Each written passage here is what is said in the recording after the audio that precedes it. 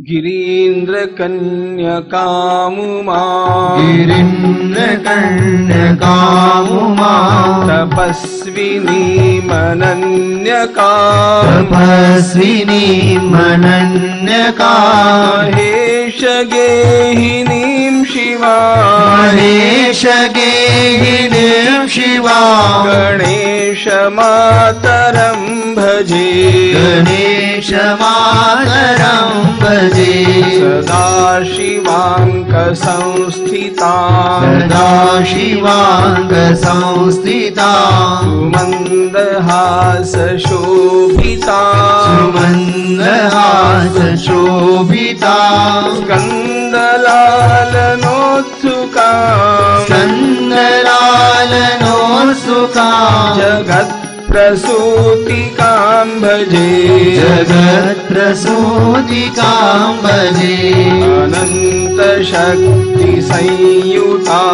अनन्तशक्तिसंयुता।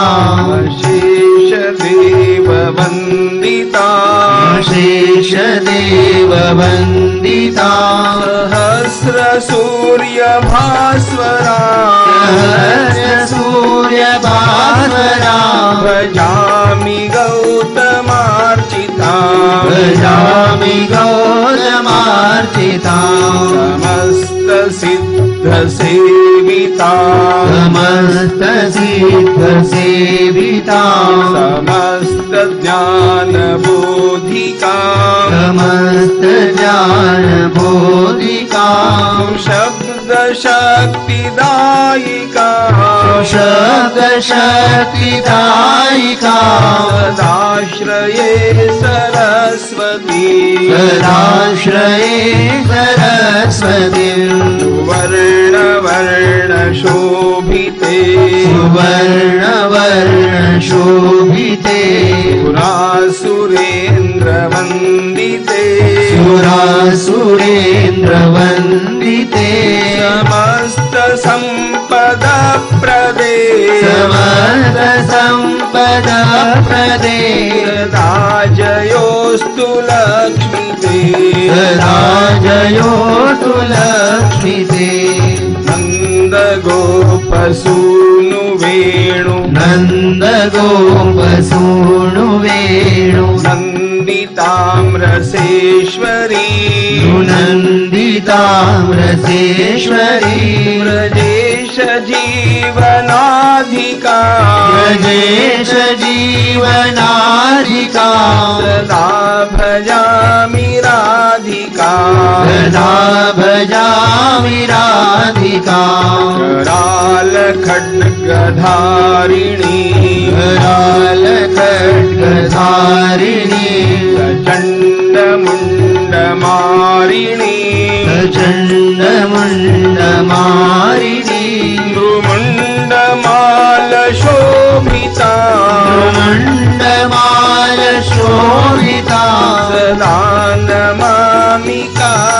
कालिका सदा नमामि कालिका करालकालभीषणा करालकालभीषणा शुम्भ शुम्भधारिणी निशुम्भ शुम्भधारिणी स्वभक्त दुःखहारिणी स्वभक्तदुःखहारिणी। प्रचण्ड चण्डिकां भजे प्रचण्ड चण्डिकां भजे खड्गचाप बाणशूल। खड्गचाप बाणशूल। चक्रपद्मधारिणी चतुर्भुजाञ्च षड्भुजा। चतुर्भुजाञ्च षड्भुजा। दशाष्टबाहुकां भजे दशाष्टबाहुकां भजे रक्तबीजमहिषताम्र। रक्तबीजमहिषताम्र दुष्टदैत्यघातिनी। दुष्टदैत्यघातिनी। अदम्य दर्पराजिता अदम्य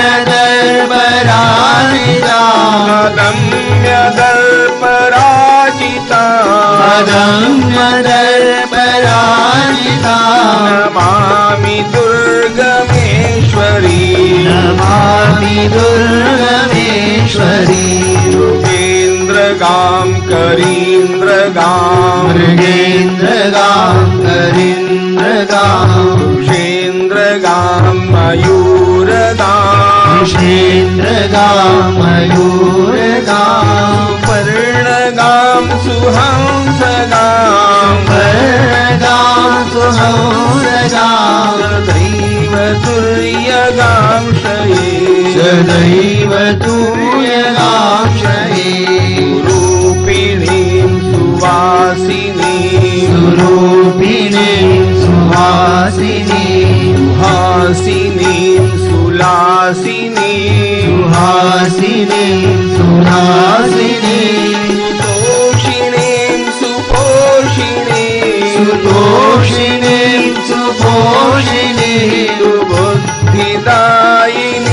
भजे। सुबुद्धिदायिनीं भजे। जलाम्बराग्निवायु मृज्जलाम्बराग्निवायु रूपिणीं पराम्बिकां रूपिणीं पराम्बिका। चन्द्रभास्करात्मरूप चन्द्रवाकरात्मरूप विलासिनीं भजे चिदविलासिनीं भजे ब्रजेश्वरीं रमेश्वरीं। ब्रजेश्वरीं रमेश्वरीं। महेश्वरीं सुरेश्वरी। महेश्वरीं।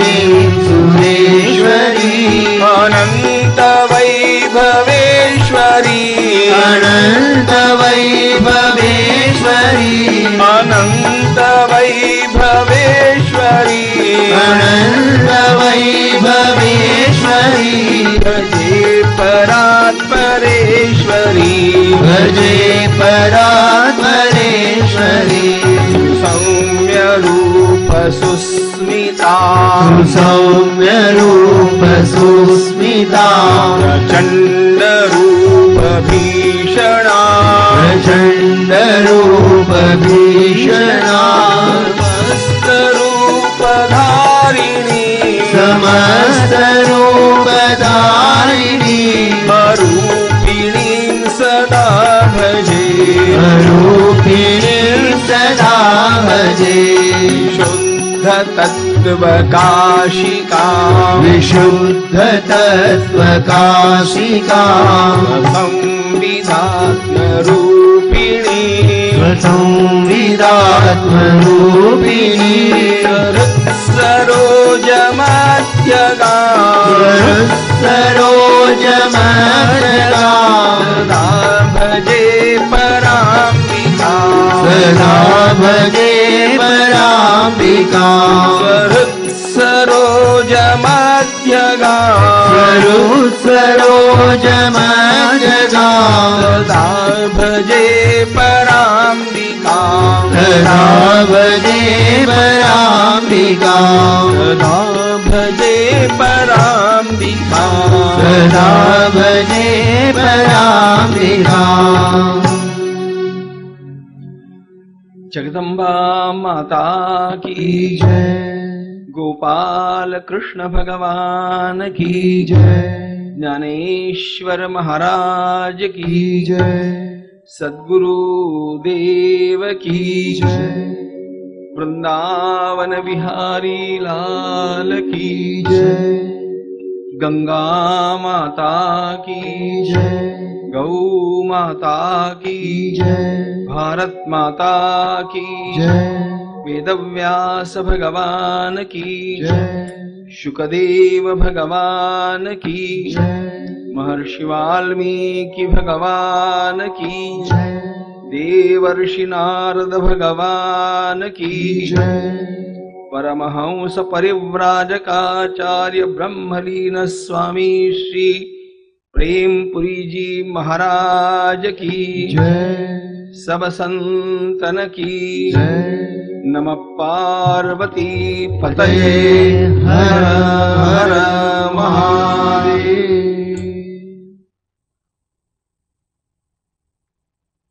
वर्णानाम् अर्थसङ्घानाम् रसानां छन्दसामपि। मङ्गलानां च कर्तारौ वंदे वाणी विनायकौ। नमामि सद्गुरुं शान्तम् सच्चिदानन्दविग्रहम् पूर्णब्रह्मपरानन्दम् ईशमानन्दिवल्लभम् योऽन्तः प्रविश्य मम वाचमिमां प्रसुप्ताम्। सञ्जीवयत्यखिलशक्तिधरस्वधाम्ना अन्यांश्च हस्तचरणश्रवणत्वगादीन्। प्राणान्नमो भगवते पुरुषाय तुभ्यम्। ज्ञानेन योगेन च कर्मणा च भक्त्या च सर्वस्वसमर्पणेन आराधिताभ्यां श्रुतिमार्गदक्षैर्। नमो नमः श्रीगुरुपादुकाभ्याम्। सुरासुरासेवितपादपङ्कजा करे विराजत्कमनीयपुस्तका विधेष्टपत्नी कमलासनप्रिया, सरस्वती नृत्यतुवाचि मे सदा। विद्युद्गामसमप्रभां मृगपतिस्कन्धस्थितां भीषणाम् कन्याभिः करवालखेटविलसद्धस्ताभिरासेविताम् हस्तैश्चक्रगदासिखेटविशिखांश्चापं गुणं तर्जनीम् बिभ्राणामनलात्मिकां शशिधरां दुर्गां त्रिनेत्रां भजे। नमो देव्यै महादेव्यै शिवायै सततं नमः नमः प्रकृत्यै भद्रायै यता प्रणता स्मताम् या देवी सर्वभूतेषु शक्तिरूपेण संस्थिता। नमस्तस्यै नमस्तस्यै नमस्तस्यै नमो नमः। यस्य वाणी, यस्य देवमयी तनुः, यस्य ब्रह्ममयी दृष्टिः स गुरुः पातु माँ सदा।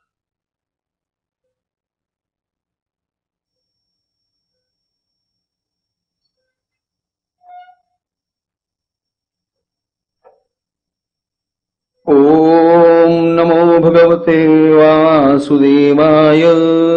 ॐ सर्वचैतन्यरूपान्ताम्। आद्यान् देवीं च धीमहि। बुद्धिं या न प्रचोदयात् शौनकौ उवाच सूतसूतमहाभाग। धन्योऽसि पुरुषर्षभ। यदधीतास्त्वया सम्यक् पुराण संहिताशुभाः। शास्त्राण्यपि विचित्राणि जल्पवादयुतानि च। विविधानि पुराणानि शास्त्राणि विविधानि च।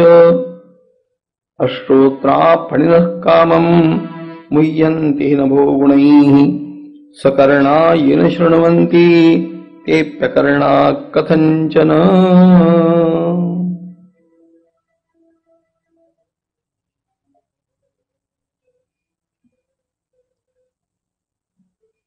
अनंत कंद परमात्मा का दिव्य चिंतन करने में,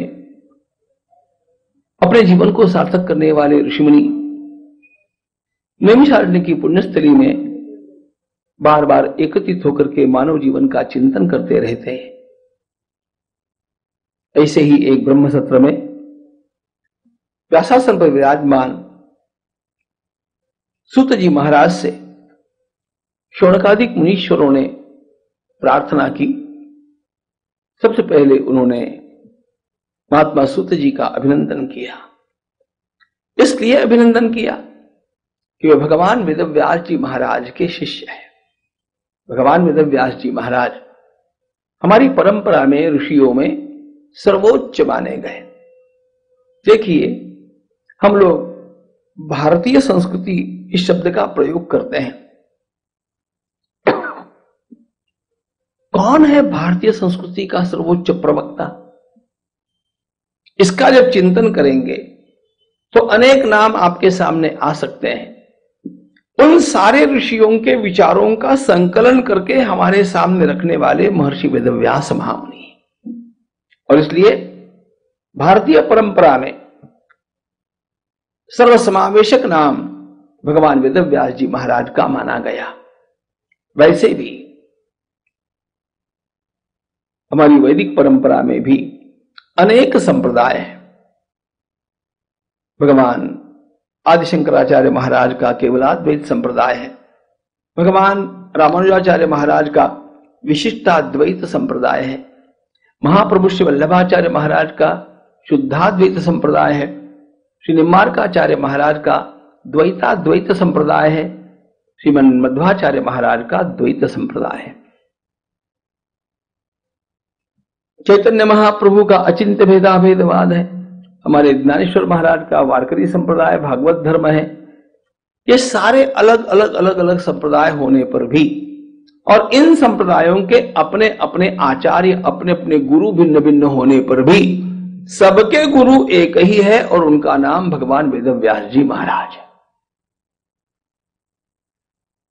ये सभी भिन्न भिन्न संप्रदायों के आचार्य भगवान वेद व्यास जी महाराज को अपने गुरु स्थान में ग्रहण करते हैं।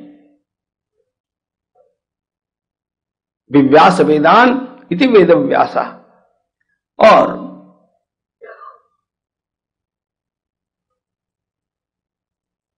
ऐसे महान भगवद अवतार रूप सदगुरु के पास रहकर के जिन्होंने अध्ययन किया होगा, उनके जीवन की धन्यता के बारे में क्या कहना?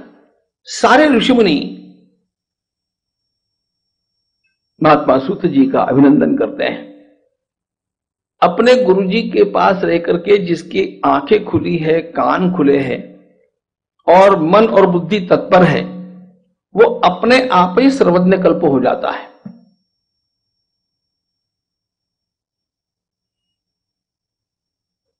और ये महापुरुषों की संगति के बिना कभी नहीं होगा। ये उसी से होता है। सताम प्रसंगान।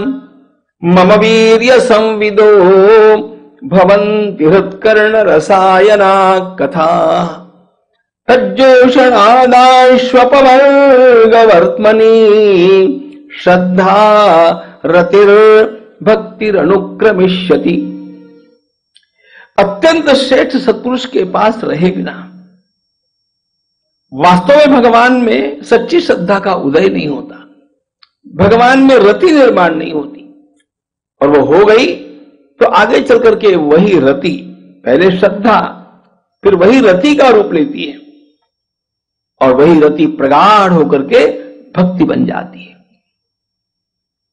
यद्वत श्रीखंड वृक्ष भगवान आदिशंकराचार्य महाराज शतश्लोकी में कहते हैं कि जैसे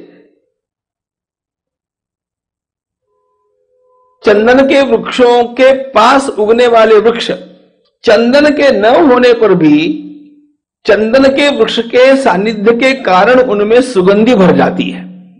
वे स्वयं चंदन के नहीं है, लेकिन वे चंदन की सुगंधि से भर गए। ये होता है सत्पुरुषों की सन्निधि से।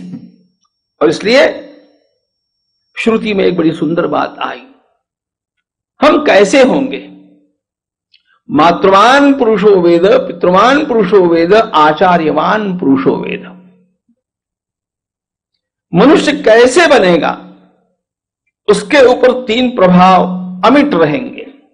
पहला प्रभाव उसकी माँ का होगा। दूसरा प्रभाव उसके पिताजी का होगा। और तीसरा प्रभाव जिन गुरुजनों के पास उसने अध्ययन किया होगा, उनका होगा।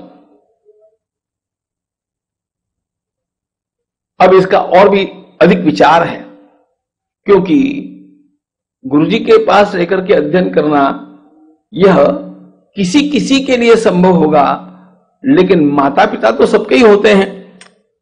तो फिर ये क्यों कहा मातृमान पुरुषो वेद पितृमान पुरुषो? ऐसा इसलिए कहा कि माँ भी योग्य माँ होनी चाहिए, पिता भी योग्य पिता होने चाहिए और जिनके पास हम अध्ययन करते हैं, वे भी उस प्रकार के योग्य होने चाहिए। उतना ही विकास हम कर सकेंगे। यहाँ पर सारे ऋषियों ने सूत जी महाराज का मनपूर्वक अभिनंदन किया और उनसे कहा कि इतने श्रेष्ठ महापुरुष के पास, भगवत कल्प महापुरुष के पास, भगवत रूप महापुरुष के पास रह करके आपने विद्याओं को अर्जित किया। धन्य किया आपने अपने जीवन को। हम भी आपकी कृपा से अपने जीवन को धन्य करना चाहते हैं और इसलिए आपके पास बैठ करके हम भी कुछ ज्ञानार्जन करना चाहते हैं। पहले तो आशीर्वाद देते हैं आपको। यहाँ पर बात ऐसी है, व्यासपीठ पर बैठे हुए सूत जी महाराज की अवस्था कम है और सामने श्रवण के लिए बैठे हुए जो ऋषिमुनि है, उनकी अवस्था अधिक है। इसलिए क्या दीर्घायुर्भव सर्वत्र तापत्र विवर्जित। कथयाद्य महाभाग पुराणम ब्रह्म संमितम आशीर्वाद भी दिया, दीर्घायुर्भव। और फिर कहते हैं कि अवस्था में हम आपसे बड़े होने के कारण आशीर्वाद देते हैं, आपको दीर्घायु होने का, और किसी प्रकार का ताप आपको कभी न सतावे, इसका भी। लेकिन अब ज्ञान वृद्ध आप होने के कारण, ज्ञान में बड़े आप होने के कारण, आपसे हम श्रवण करना चाहते हैं। इसलिए अभिवादन करते हुए प्रार्थना करते हैं कि आप हमें कुछ ऐसा सुनाइए जिससे मनुष्य का हमारा जीवन सार्थक हो जाए। अब उसके पश्चात ऋषियों ने मानव जीवन का थोड़ा वर्णन किया और इस मानव जीवन में वही अपने जीवन को सार्थक करता है।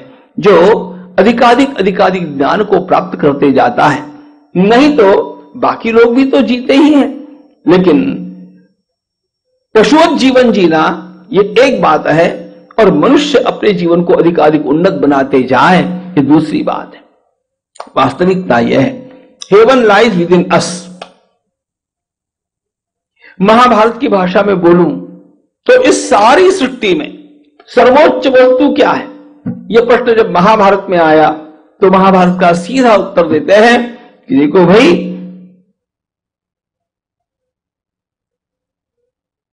नमानुषात श्रेष्ठतरम ही किंचित परमम गुह्यम ये निरंतर बदामी न मानुषात श्रेष्ठतरम ही किंचित अत्यंत गोपनीय बात आपको बतलाते हैं।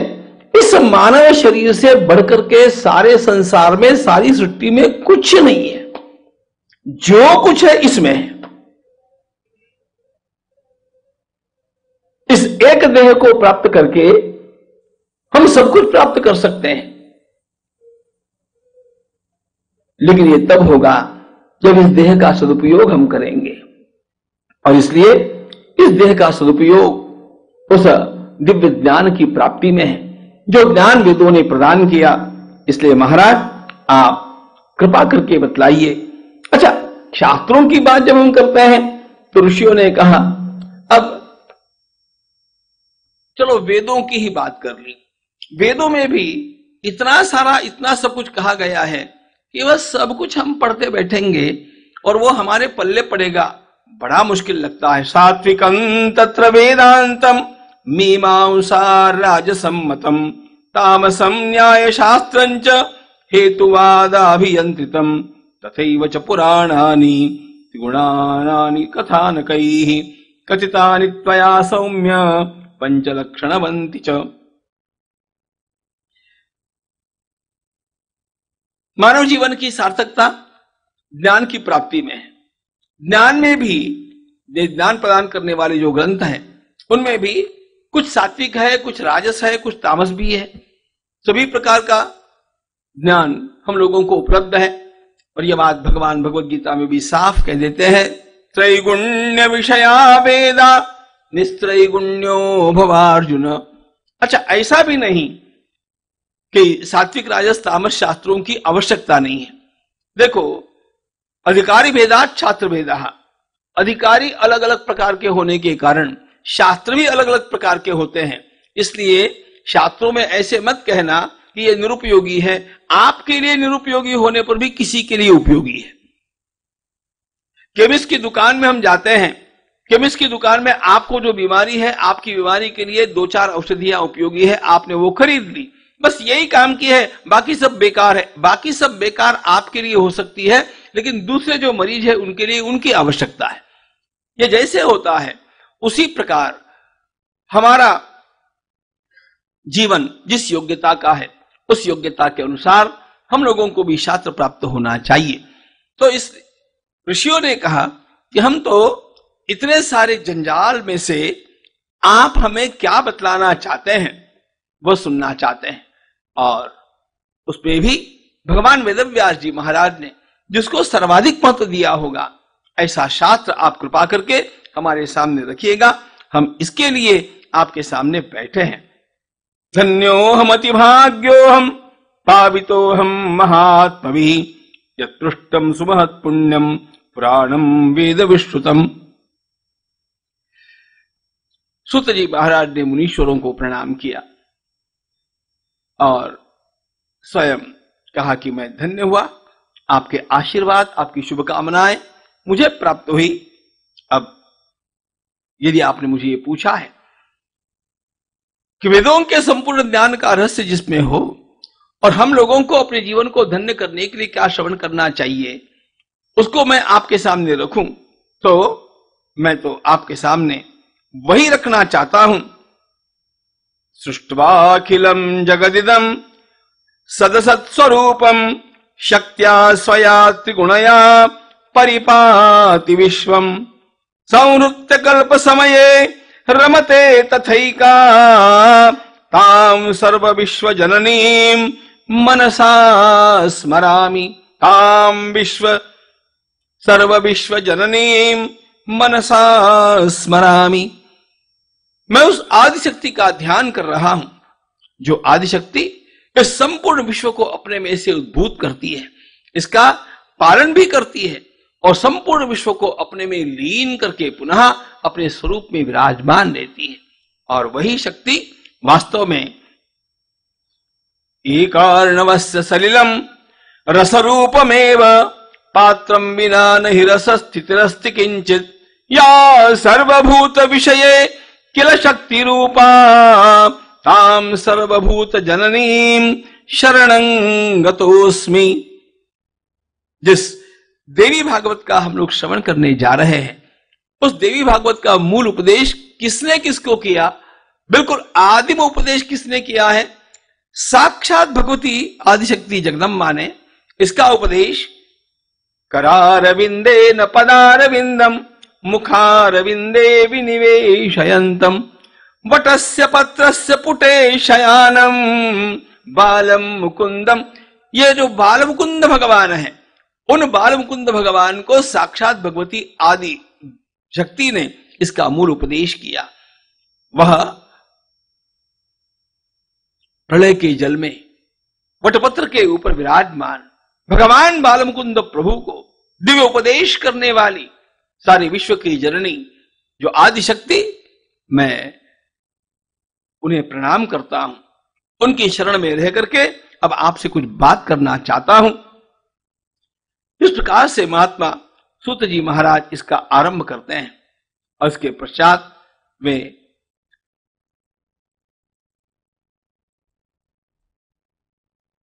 जिन भगवान वेद व्यास जी महाराज से, मैंने अध्ययन किया। द्वैपायने न मुनिना, कथितम यच्च पावनम। न तृप्यामो वयम सूत, कथाम श्रुत्वा मनोरमाम। पुराणों का वर्णन किया भगवान वेदव्यास जी महाराज ने वेदों का विभाजन, भगवान वेदव्यास जी महाराज का कार्य, वेदों का विभाजन करना और पुराणों का हम लोगों के लिए प्रणयन करना।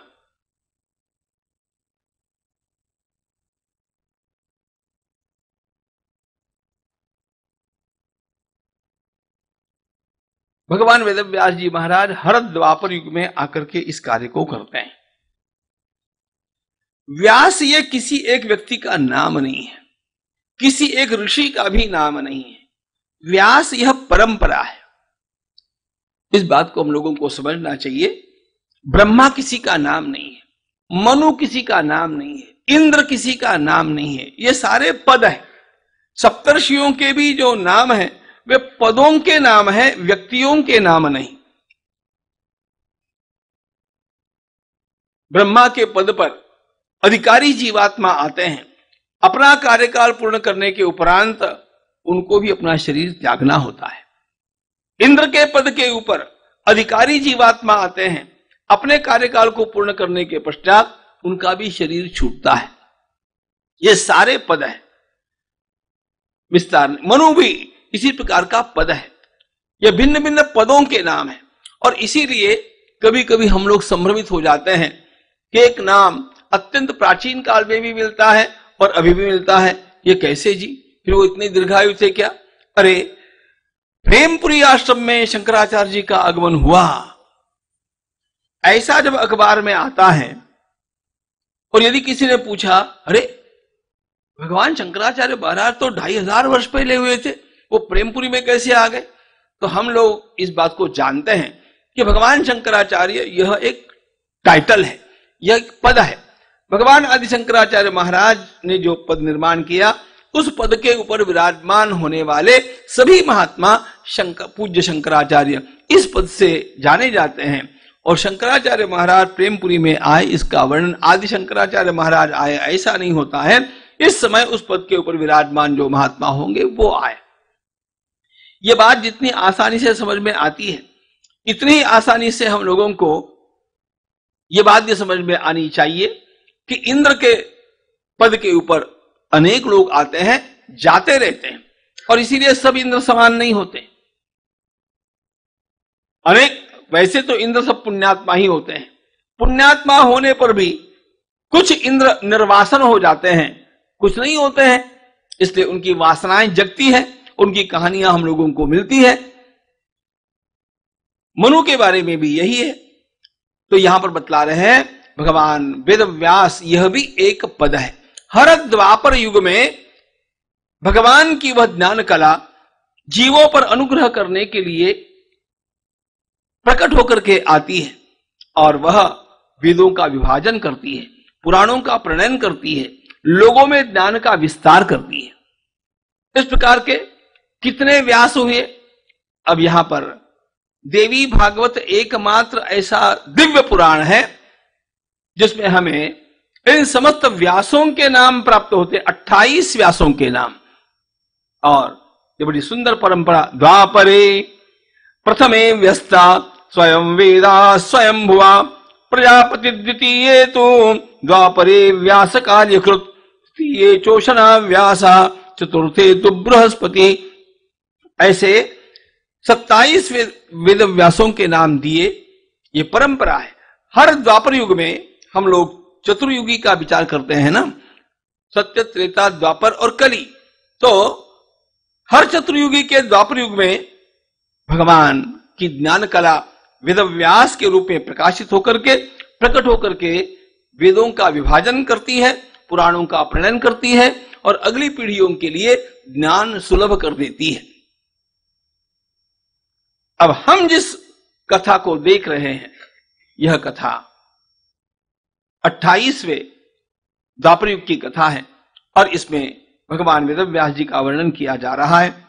कृष्ण द्वैपायात्रोक्तम पुराण मया श्रुतम श्रीमद्भागवतम पुण्यम सर्व दुखौघनाशनम कामदम मोक्षदं चैव वेदार्थ परिबृंहितम सर्वागमरसारामम मुमुक्षूणाम सदा प्रियम। भगवान वेद व्यास जी महाराज ने कामदम मोक्षदं चैव एक ऐसे दिव्य पुराण की रचना की, जो हमारी कामनाओं को भी पूर्ण करने वाला है और हमें मोक्ष भी प्रदान करने वाला है। एक बात, देवी के उपासना के संदर्भ में हम लोगों को ध्यान रखनी चाहिए। यत्रास्ति भोगो, नहीं तत्र मोक्ष। यत्रास्ति मोक्षो नहीं तत्र भोग। सर्वत्र आप देखेंगे, जहाँ पर भी भोग है, वहाँ मोक्ष नहीं है। जहाँ मोक्ष की बात है, वहाँ भोग नहीं है। भोग और मोक्ष साथ में चल सकते नहीं है। जगदम्बा की उपासना एक उपासना ऐसी है, जिसमें भोग और मोक्ष ये दोनों साथ साथ में चलते हैं। यत्रास्ति भोगो, नहीं तत्र मोक्ष। यत्रास्ति मोक्षो नहीं तत्र भोग। श्री सुंदरी सेवन तत्पराणाम भोगश्च मोक्षश्च करस्थ एव। जगदम्बा की आराधना, यह भोगों को भी प्रदान करती है और अंतरंग में उस मुमुक्षु को मुक्त कर देती है। और इसीलिए इस उपासना की अत्यंत बड़ी विलक्षणता, जिस पुराण में कही गई, जिस दिव्य ग्रंथ में कही गई, वही मैं आपके सामने रखना चाहता हूँ।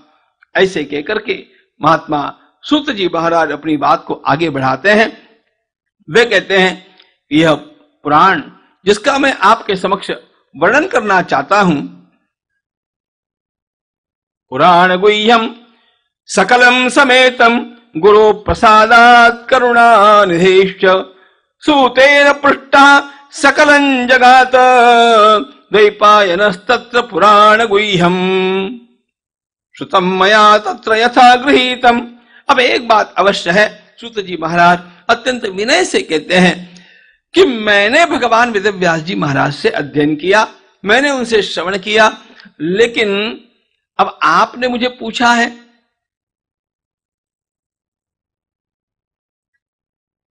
हमारे गुरुदेव की प्रज्ञा का, हमारी टूटी फूटी बुद्धि का जितना मैं ग्रहण कर पाया हूँ, उतना मैं आपके सामने रखने का प्रयास कर सकता हूँ। लेकिन यदि मैं बोलते समय कहीं गलती कर गया तो आप कृपा करके ऐसे मत मानना कि इस प्रकार का प्रमाद कहीं मूल ग्रंथ में रहा था। ना, यदत्र सौष्ठवं किंचित तदगुरोरेव में नहीं। यदत्र सौष्ठवं किंचित तन्ममैव गुरोर नहीं। यहाँ पर आपको जचने वाली जो भी बात है, वह मेरे गुरुदेव की कृपा की प्रसादी है। और जो बात आपको जचेगी नहीं, ऐसा लगता है, ध्यान रखना, वो मेरी बुद्धि का प्रमाद है। मूल भगवान वेद व्यास जी महाराज ने ऐसा कुछ कह दिया होगा, ऐसा कभी सपने में भी लाने की आवश्यकता नहीं। अब इसके पश्चात कैसे इस पुराण का निर्माण हुआ? इसकी ओर चलते हैं। मूल प्रसंग भगवान वेद व्यास जी के जीवन का प्रसंग है। श्री कृष्ण गोविंद हरे मुरारे हे नाथ नारायण वासुदेव। श्री कृष्ण गोविंद हरे मुरारे हे नाथ नारायण वासुदेव। कृष्ण गोविंद हरे मुरारे हे नाथ नारायण वासुदेव। श्री कृष्ण गोविंद हरे मुरारे हे नाथ नारायण वासुदेव। हे नाथ नारायण वासुदेव। हे नाथ नारायण वासुदेव। हे नाथ नारायण वासुदेव। हे नाथ नारायण वासुदेव। नाथ नारायण वासुदेव। हे नाथ नारायण वासुदेव। हे नाथ नारायण वासुदेव। हे नाथ नारायण वासुदेव। गोविंद हरे मुरारे नाथ नारायण वासुदेव। श्री कृष्ण गोविंद हरे मुरारे हे नाथ नारायण वासुदेव। गोविंद हरे मुरारे हे नाथ नारायण वासुदेव। श्री कृष्ण गोविंद हरे मुरारे हे नाथ नारायण वासुदेव। हे नाथ नारायण वासुदेव।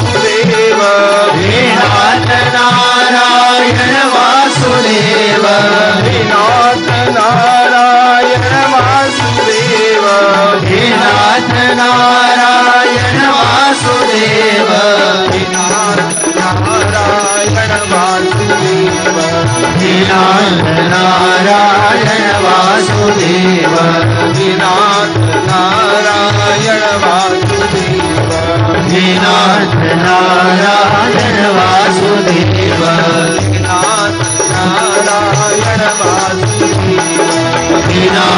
नारायण वासुदेव। पुरा सरस्वती तीरे, व्यास सत्यवती सुतः। आश्रमे कलविङ्कौ तौ।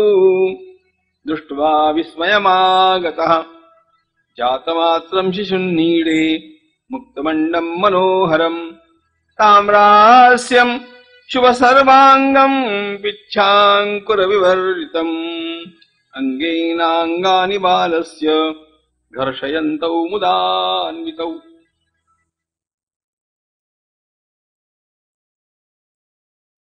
भगवान वेदव्यास जी महाराज का आश्रम हिमालय में सरस्वती नदी के तट पर। बद्रिकाश्रम आप सब लोग गए होंगे कभी न कभी। भगवान बद्रीनाथ जी की उत्तर दिशा में भगवती सरस्वती नदी आज भी हम लोगों को दर्शन देती है। वहाँ पर भगवान वेदव्यास जी महाराज का निवास रहा। आत्मचिंतन, ग्रंथों का प्रणयन, साधकों का मार्गदर्शन। ऐसा ही तो इन महात्माओं का जीवन होता है। एक समय की बात। भगवान वेद व्यास जी महाराज ने अपने आश्रम में एक पेड़ के ऊपर एक कलविंक पंछी का जोड़ा देखा। सृष्टि है। सृष्टि के सभी व्यवहार अपने अपने स्तर से चलते हैं।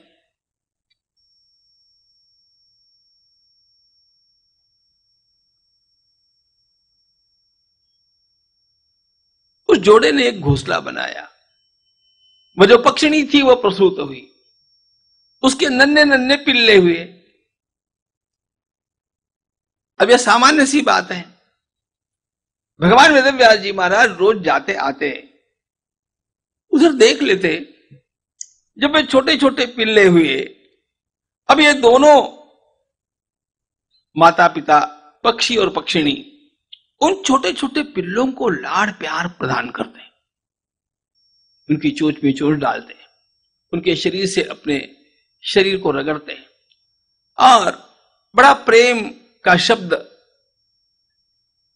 उनका चलता, उनके प्रेम के व्यवहार को देख करके अच्छा एक दिन देखा, दूसरे दिन देखा, फिर देखा।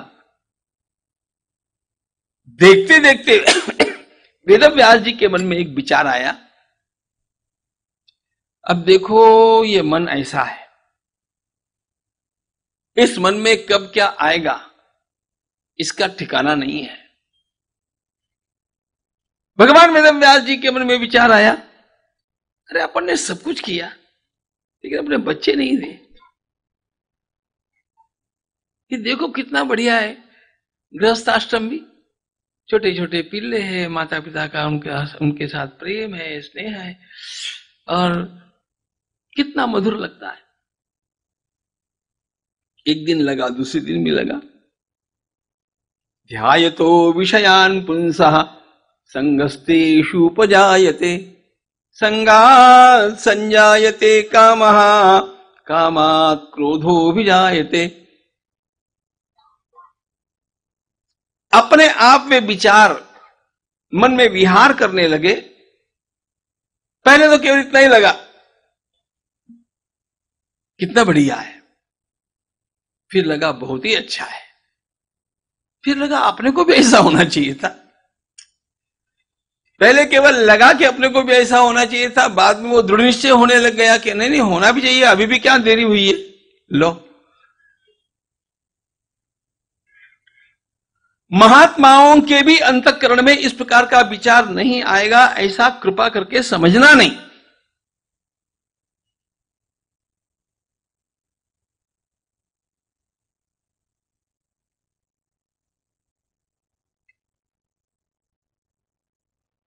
देवी भागवत में और इसी के सदृश जो जगदम्बा का दिव्य प्रतिपादक ग्रंथ है, उस पर यह बात बार बार कही गई। वो आदिशक्ति किस समय किसे किस प्रकार अपना खिलौना बना करके उससे क्या करावेगी, पता नहीं चलेगा। ज्ञानी नाम अपिचेतांसी ज्ञानी नाम चेतांसी। देवी भगवती ही सा बलादाकृष्य मोहाय। महामाया प्रयच्छति। यह पक्की बात है कि इस सृष्टि का हर जीवात्मा उस महामाया के हाथ का खिलौना है।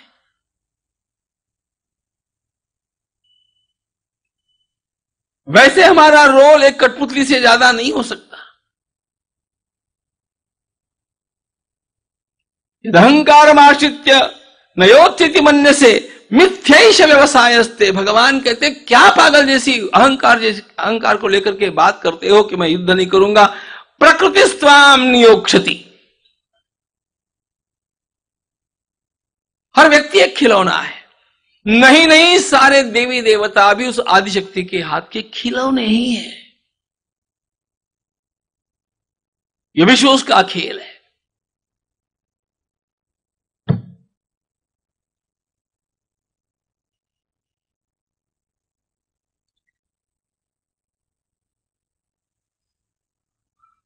इतने बड़े सिद्ध प्राप्त सौभरी मुनि हमारे श्रीमद भागवत के, मछलियों का खेल देखा, मछलियों का। अब मछलियों का खेल क्या है?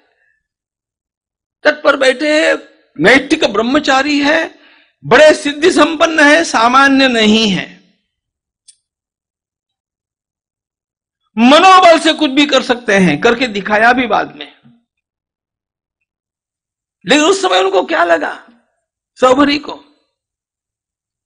मछलियों का खेल देखा, कुछ बड़ी मछलियाँ हैं, कुछ छोटी मछलियाँ हैं, उनको भी लगा, अरे गृहस्थ आश्रम कर लेते तो अच्छा होता।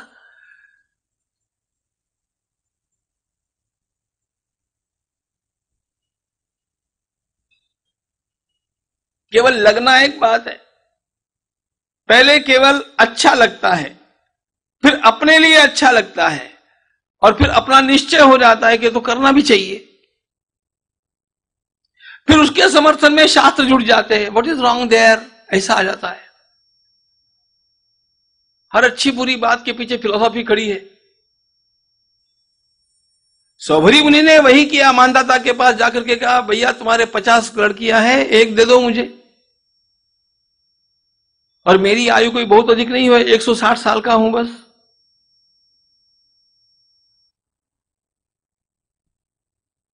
अच्छा राजा भी राजा तो राजा है, उसने विचार किया, अब तो मेरे लिए कठिन बात हो गई।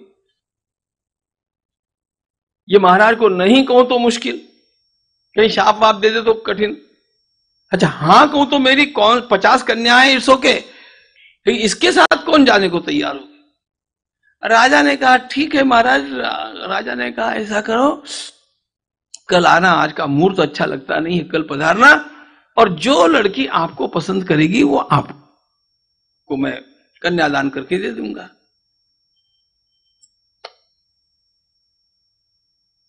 सोबरी ने कहा इट्स ओके और सोबरी ने क्या किया पता है? सौबरी ने एक ही रात्रि में योगाभ्यास से ऐसा विलक्षण यौवन स्वयं में निर्माण कर लिया कि दूसरे दिन जब वो गए तो पचास कन्याओं में झगड़ा हो गया कि इनके साथ तो मैं ही विवाह करूँगी। ये भागवत की कथा है। अब सप्ताहों में कहने जितना समय नहीं मिलता है सब कुछ। अब राजा के तो उल्टे खटपट हो गई। राजा ने कहा, महाराज, अब क्या किया जा सकता है? तो सौभरी ने कहा, पचास की पचास भी चलेगी।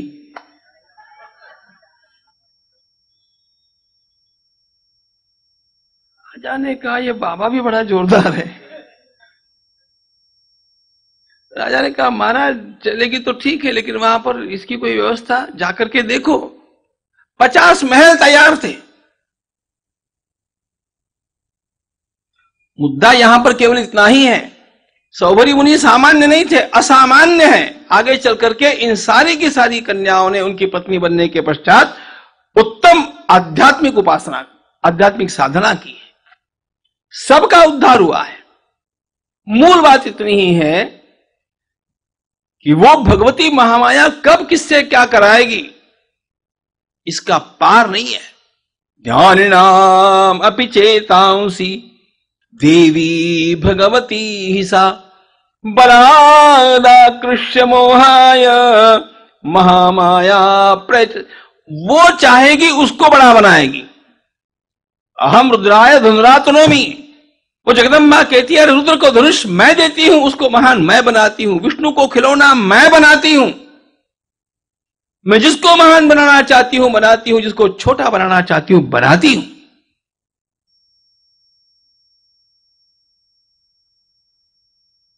सारा विश्व उसके लिए खिलौने के समान है।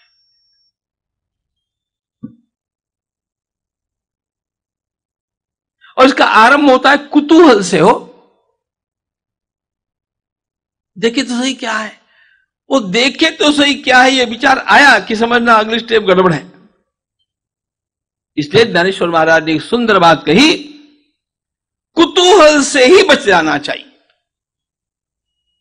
प्राप्त ही पुरुषे, इंद्रिय चाड़विली जरी कवतिके। कवतिक का अर्थ है कुतूहल जस्ट थ्रू क्यूरियोसिटी क्या होता है, देखे तो?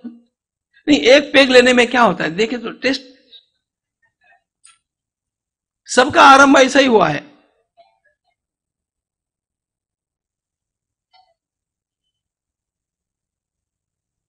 प्राप्ते ही पुरुषे।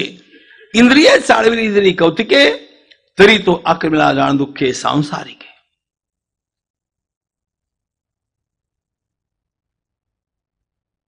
भगवान वेद व्यास जी महाराज, के मन में यह विचार आया कि अपने को गृहस्थाश्रम करना चाहिए था।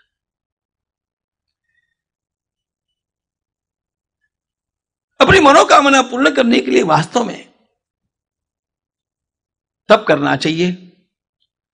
अब तब करने का विचार करके देखो ये महाराज निकले। हिमालय से चले, मेरु पर्वत की तलहटी तक चले गए। एकांत में जाकर के तपस्या करेंगे और अपनी सारी मनोकामनाएँ पूर्ण करेंगे। वहाँ पर आकर के जब तपस्या के लिए बैठना तो मन में विचार आया कि किसकी आराधना करूँ?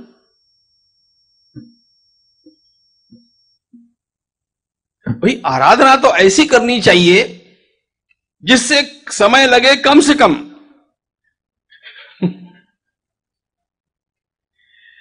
नियम पालन करना पड़े कम से कम। और लाभ हो तो बंबैया मेंटेलिटी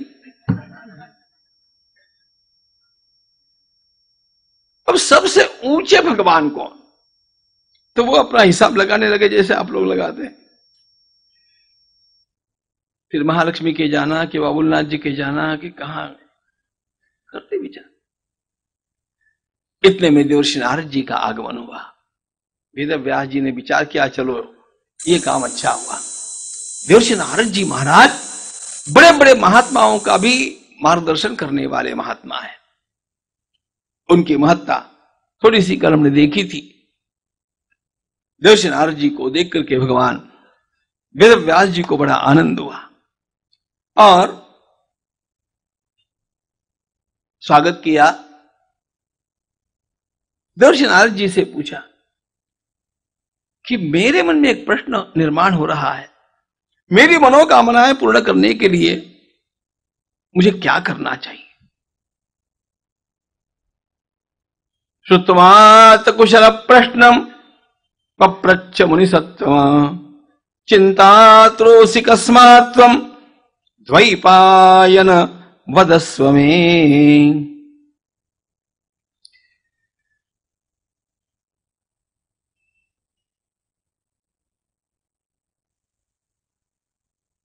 जी ने कहा, बोले व्यास जी चिंताक्रांत आप क्यों हैं?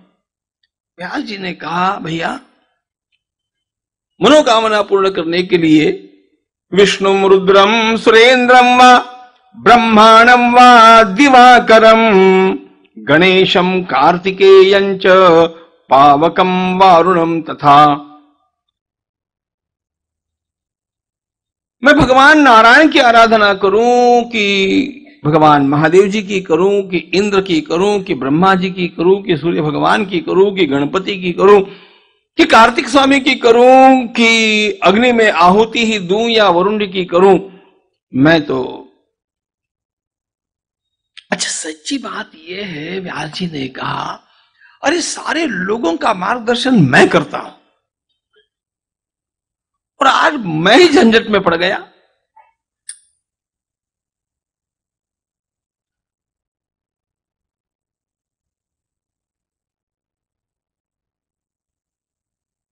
आपके पास कोई भी आवे और आपको कोई सलाह पूछे ना, आप देखो आप कितने होशियार हो जाते हैं। कल प्रधानमंत्री भी आकर के आपसे पूछेंगे ना, क्या करना चाहिए? आप तुरंत उनको सलाह दे देंगे।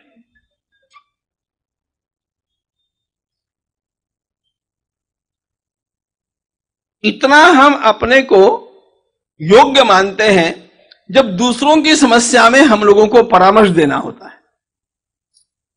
जब अपने ऊपर बीतती है ना, तब अपना ही दिमाग खराब हो जाता है। वेद व्यास जी ने कहा, भैया, मेरे साथ गड़बड़ी ये हो गई। लोगों का मार्गदर्शन मैं करता हूँ। अब मैं ही स्वयं इस झुंझलाट में पड़ गया हूँ। मुझे क्या करना चाहिए? और बड़ी ग्लानी इस बात को देख करके आती है कि मेरे जैसा लोग जिसको इतना बड़ा ज्ञानी मानते हैं वो इस प्रकार की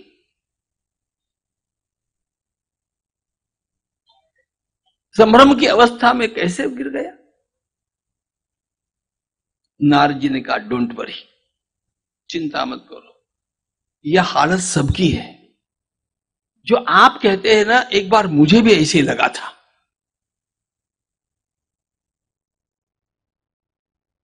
तो मैंने विचार किया कि वास्तव में सबसे ऊँचा आराधना का मार्ग कौन सा है?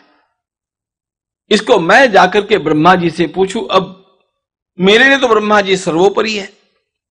मैं ब्रह्मा जी के पास गया, नारद जी अपनी बीती हुई बात बतलाते हैं, वेद व्यास जी को। मैं ब्रह्मा जी के पास गया, और ब्रह्मा जी से मैंने कहा कि पिताजी, ब्रह्मा जी नारद जी के पिताजी हैं। पिताजी, मेरे ध्यान में नहीं आता है आराधना वास्तव में किसकी सर्वोच्च है। गणेश जी की पूजा करो, शिव जी की करो, देवी की करो, नारायण की करो, कार्तिक स्वामी की करो, इसकी इंद्र की करो अग्नि में होम करो। क्या क्या करना चाहिए? झंझट ही झंझट। वैसे लोग मुझे पूछते हैं तो मैं उनको बहुत अच्छा बतलाता हूँ। मैं स्वयं आपत में फंसा ब्रह्मा जी ने कहा, तुम चिंता मत करो, मैं भी फंसा हूँ।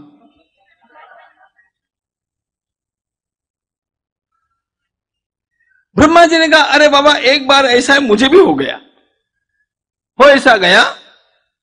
मैं किसी प्रश्न को लेकर के भगवान नारायण के पास गया।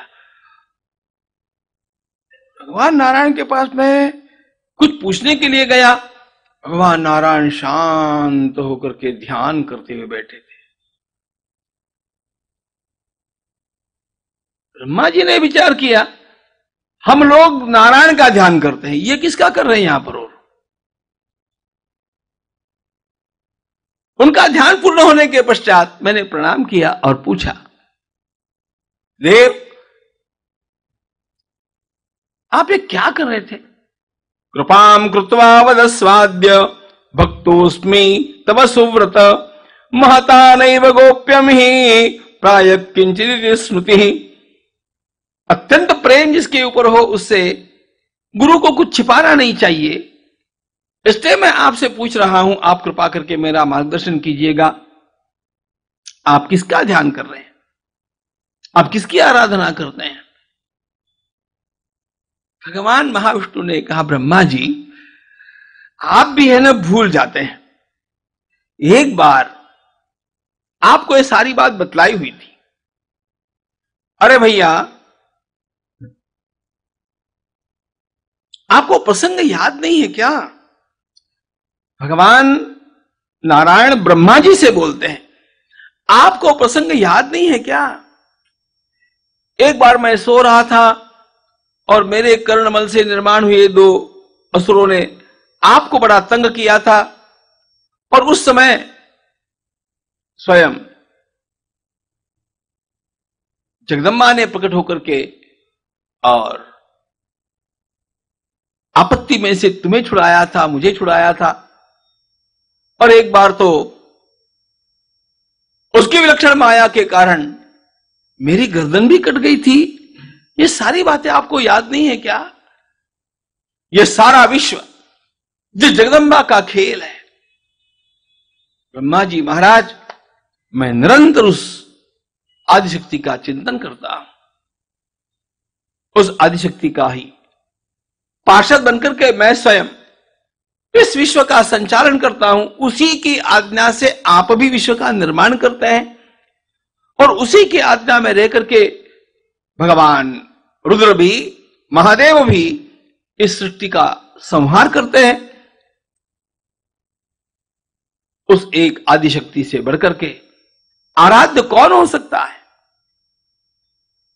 ब्रह्मा जी कहते हैं, विहाय लक्ष्म्या सह संविहारम कोयाति मत्स्यादिशु ही न योनिषु शय्यांच मुक्त्वा गरुड़ासनस्थ। करोमि युद्धम विपुलम स्वतंत्र पुरा पुरस्तेज शिरो मदीयम गतम धनुर्ज्यास्खलनात् स्वकापि। त्वया तदा वाजिशिरो गृहीत्वा संयोजितम शिल्पी वरेण भूयः। ये सारी बातें भगवान नारायण ने ब्रह्मा जी को याद दिलाई। और यह भी कहा, यदि हम उस आदि शक्ति के, आदि माया के खिलौने नहीं होते तो आप बताइए ना, किसी को भी वैकुंठ का सुंदर स्थान छोड़कर के मछली वछली होना अच्छा लगेगा क्या? उस योग माया के अधीन होकर के ही तो वराह भी होना पड़ता है, कभी मछली भी होना पड़ता है। वो जैसे कराती है, वैसे करना पड़ता है। ब्रह्मा जी को भी ध्यान आने लगा।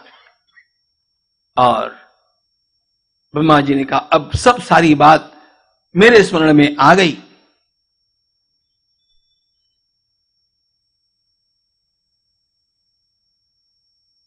ये सारा प्रसंग देवर्षि नारद जी ने भगवान वेद व्यास जी को सुनाया और कहा देखो असंख्य रूप दिख सकते हैं।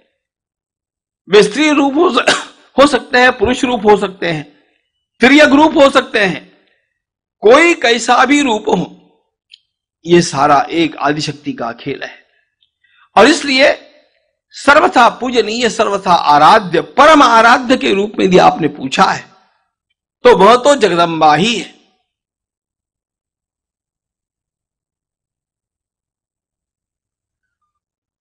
ये सारी बात जब सूत जी महाराज मुनीश्वरों को नैमिषारण्य में बतला रहे हैं तब ऋषियों ने कहा, महाराज, थोड़ा सा रुकिए। बात को आगे बढ़ाने के पहले एक बात हमारे लिए स्पष्ट कर दीजिए। ये बोलते बोलते आपने जो कह दिया कि भगवान नारायण का मस्तक कट गया था। और ये तो हम लोगों के लिए बड़ी आश्चर्य की बात है। यह कैसे हुआ था, कब हुआ था? महात्मा सुत जी महाराज ने कहा यह भगवान का हयग्रीव अवतार का वर्णन है। और वो घटना स्वयं अद्भुत प्रसंग था। कैसे साकार हुआ बतलाता हूँ। एक समय की बात ब्रह्मादिक सारे देवता भगवान नारायण के पास आकर के पहुँचे हैं अपनी आपत्ति उनके सामने रखने के लिए। इत्युक्ता शुणवंतु मुनय सर्वे, सावधाना समत चरितम देवदेवस्य, विष्णु परम तेजसा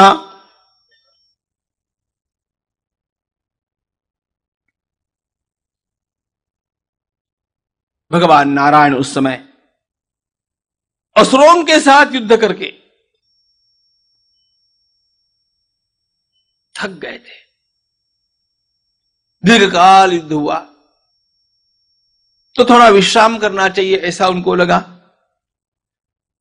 अब विश्राम करने जितना बहुत समय तो नहीं था, लेकिन थोड़ा विश्राम आवश्यक भी था। इसलिए उन्होंने वहीं पर युद्ध भूमि में थोड़ा विश्राम लेने की एक युक्ति कर दी अपने ही धनुष के ऊपर दोनों हाथ रख करके भगवान निद्राधीन हो गए। आप याद करो, जब बस में बैठ करके हम लोग नींद लेते हैं, या प्लेन में भी सोते हैं तो कभी तो पीछे टिक करके सोते हैं, और कभी दोनों हाथ आगे रख करके सो जाते हैं, अगली सीट के ऊपर। भगवान नारायण धनुर्धारी भी है, इसको भी समझना। हम लोग भगवान नारायण को केवल चतुर्भुज मानते हैं। भगवान नारायण चतुर्भुज है, षडभुज है, अष्टभुज है, सहस्रभुज है।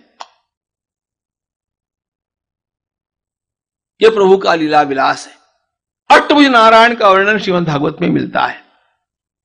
और उस अष्टभुज रूप में भगवान का एक धनुष होता है। उसका नाम है शारंग। विष्णु सहस्र नाम के अंत में शारंग धनवा गदाधर। ये जो शारंग धनवा नाम आता है वो शारंग धनुष का नाम है भगवान नारायण के। भगवान शिव जी के धनुष का नाम क्या है? हम्म, पिनाक पाणी। तो भगवान शिव का धनुष पिनाक है। वैसे हम भगवान शिव को केवल त्रिशूलधारी डमरूधारी मानते हैं वैसा नहीं है। वैसे भगवान नारायण का जो धनुष है उसका नाम शारंग। शारंग धनुष के ऊपर जा चढ़ाई हुई है प्रत्यंचा चढ़ी हुई है। धनुष धनुराकार है। वैसे धनुष का जब उपयोग नहीं किया जाता है तो उस ज्या को, उस प्रत्यंचा को खोल दिया जाता है और धनुष सीधा हो जाता है। जब उसका उपयोग करना होता है, उसको झुका करके उस डोरी को, रस्सी को, ज्या को, प्रत्यंचा को उसमें लपेट देते हैं और धनुष का काम आरंभ हो जाता है। उसी अवस्था में भगवान नारायण विश्राम करने के लिए दोनों हाथ धनुष के ऊपर रख करके मस्तक टिका करके और थोड़ा विश्राम कर रहे थे, जैसे हम प्लेन में अथवा बस में करते हैं। अब ब्रह्मा जी महाराज सारे देवताओं को लेकर के वहाँ पर आए और भगवान नारायण का स्तवन करने लगे। इतना ही स्तवन कर लिया, भगवान नारायण इतने थके हुए थे, उनकी नींद नहीं खुल रही थी।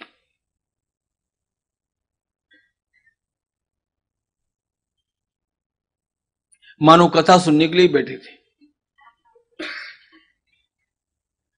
तो क्या किया जाए? ब्रह्मा जी ने एक दो देवताओं से कहा। देवताओं ने कहा, हम नहीं करेंगे। देखो, हमारे शास्त्रों में कहा गया है कि कोई नींद लेता हो तो उसको जगाना गलत है, पाप है। इसलिए कभी आपकी इच्छा हो गई तो अब डरना मत।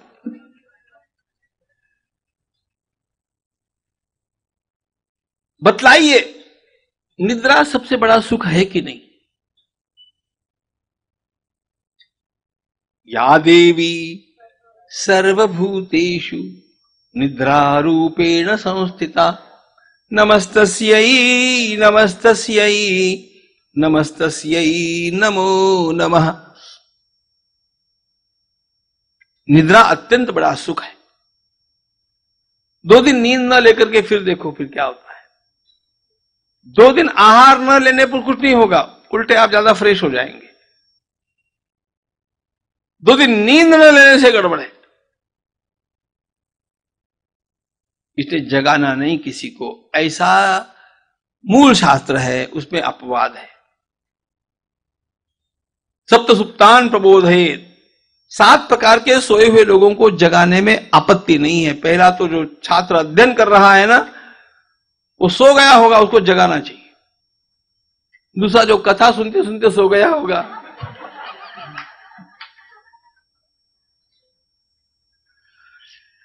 रखवाली का काम किसी को सौंपा है और वो गेट पर सो ही गया है। अरे इसको जगाना नहीं चाहिए न, जगाना ही चाहिए।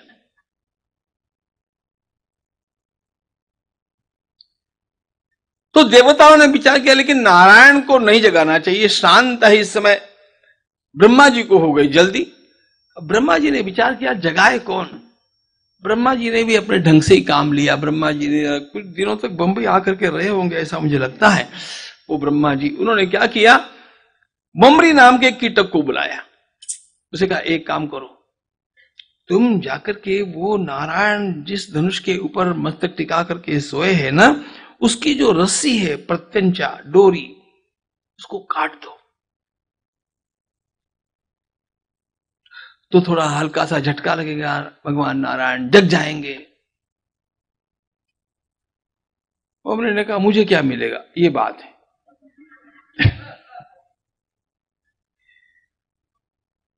ब्रह्मा जी ने एडजस्टमेंट कर ली। ब्रह्मा जी ने कहा, कोई बात नहीं। जब जब हवन कुंड में यज्ञ किया जाएगा उस समय,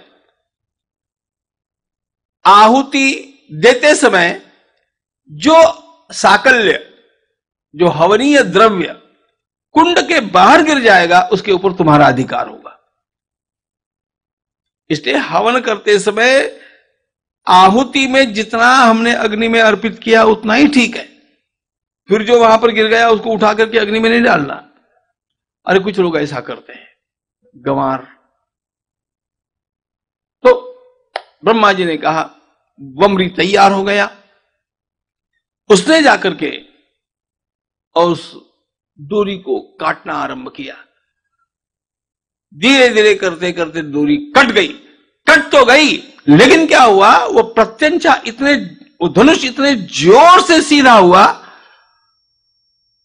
तो उस प्रत्यंचा का जो वेग था वो भगवान नारायण के ही गले में अटक करके और भगवान नारायण का शिरच्छेद करके भगवान नारायण का मस्तक कहाँ जाकर के गिरा किसी को पता नहीं।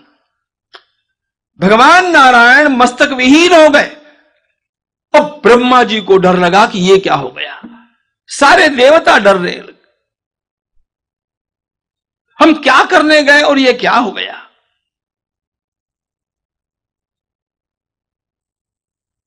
ब्रह्मा जी को तो पसीना छूट गया। और जिनके पास आकर के हम अपनी समस्याओं को रखते हैं, उनका शिरच्छेद। अच्छा वो मस्तक कहाँ गया? अब क्या किया जाए?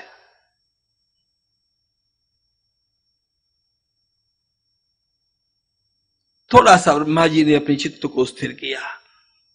चित्त को स्थिर करने की कला सीखना बहुत आवश्यक है। सारी समस्याओं का समाधान आपको अपने ही चित्त में प्राप्त हो सकता है, यदि आप अपने चित्त को स्थिर करने की कला सीख जाते हैं। स्वस्थे चित्ते बुद्धे प्रस्फुरंती।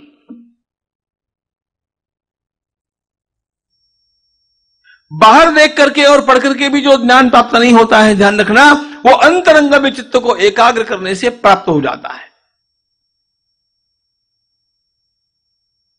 ब्रह्मा जी ने जैसे चित्त को ध्यान एकाग्र किया। ब्रह्मा जी ने कहा, भैया, एक ही काम कर सकते हैं। जगदम्बा की आराधना करो, इस समय जगदम्बा को पुकारो। सारे के सारे देवताओं ने मिलकर के माँ जगदम्बा को पुकारना आरंभ किया। दुर्गा दुर्गति नाशिनी, जय जय। दुर्गा दुर्गति नाशिनी, जय जय। काल विनाशिनी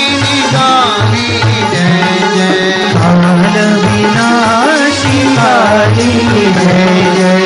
दुर्गा दुर्गति नाशिनी जय जय। काल विनाशिनी काली जय जय। दुर्गा दुर्गति नाशिनी जय जय। काल विनाशी काली जय। जय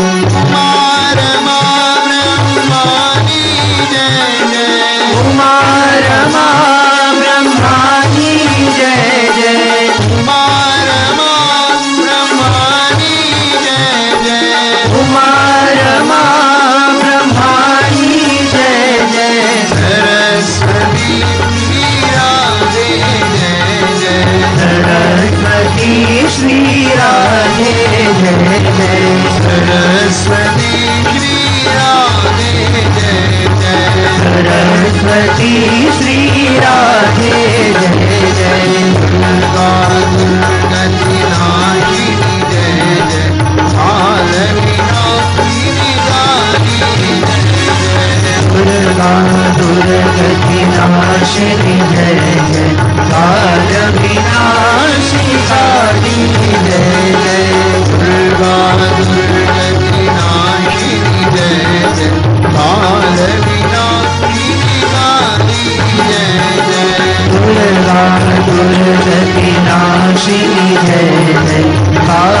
विनाशी काली जय जय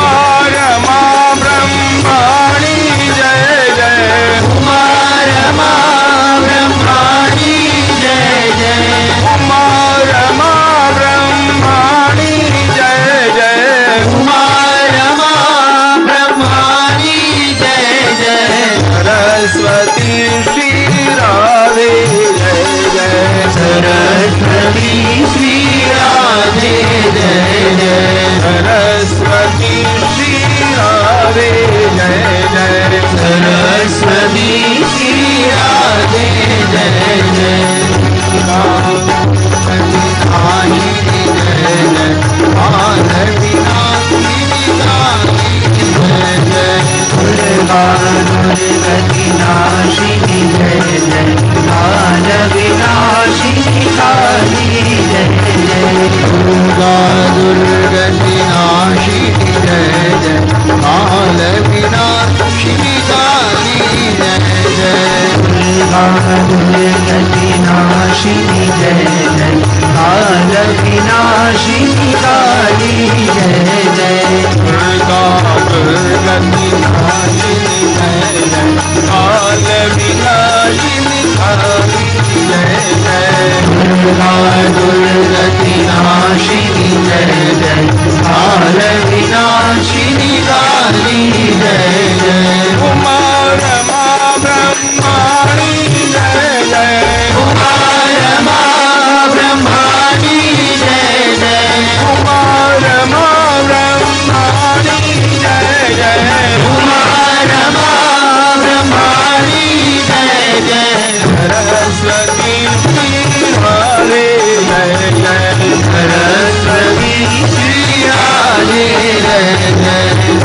सरस्वती हरे जय जय सरस्वती श्री रे जय जय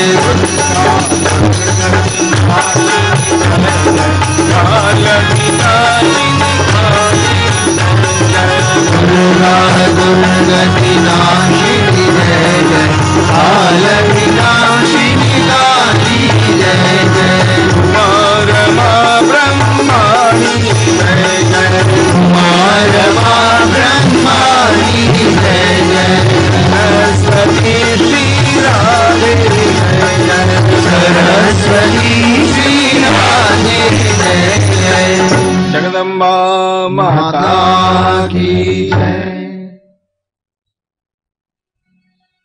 चिन्तयन्तु महामायाम् विद्यादेवीम् सनातनीम् सा विधास्यति न कार्यम् निर्गुणा प्रकृतिपरा।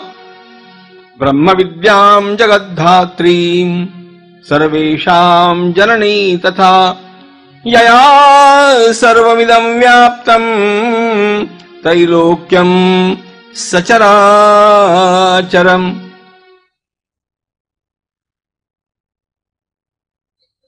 सारे देवताओं ने, वेदों से सारे देवताओं ने मिलकर के जगदम्बा का अत्यंत व्याकुल होकर के स्तवन किया।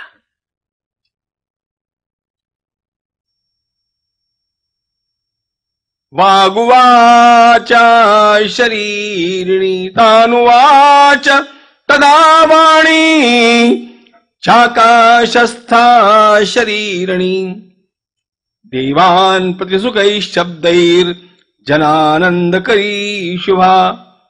मा कुरुध्वम् सुराश्चिन्ताम् स्वस्थास्तिष्ठन्तु चामराः। सभी देवता मिलकर के जब जगदम्बा की आराधना कर रहे हैं,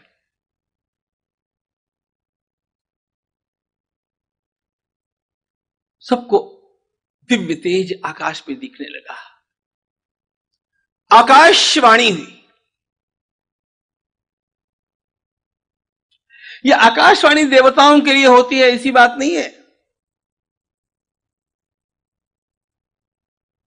चित्त को एकाग्र हम करें, अत्यंत व्याकुल होकर के, यदि हम परमात्मा को याद करते हैं ना कभी कभी आपके हृदयाकाश से भी कुछ वाणी प्राप्त हो सकती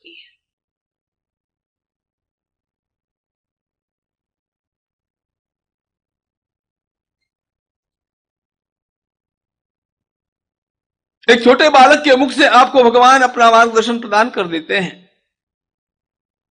आप कहीं पढ़ने बैठते हैं और अचानक आपकी समस्या का समाधान आपके सामने आपके पृष्ठ के ऊपर आ जाता है।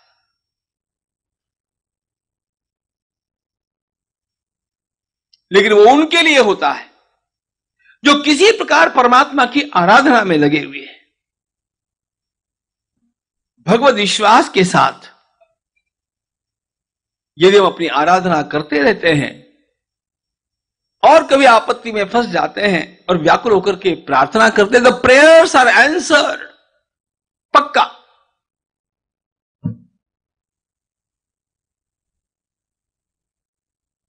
इसलिए अंतकरण पूर्वक प्रार्थना किया करो।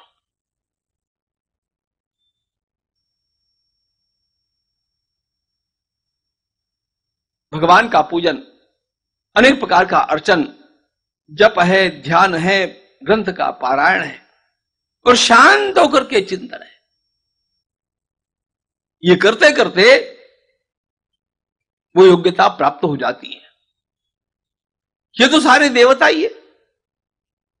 पुण्यात्मा तो है ही, पुण्य के बिना देवता कैसे होते?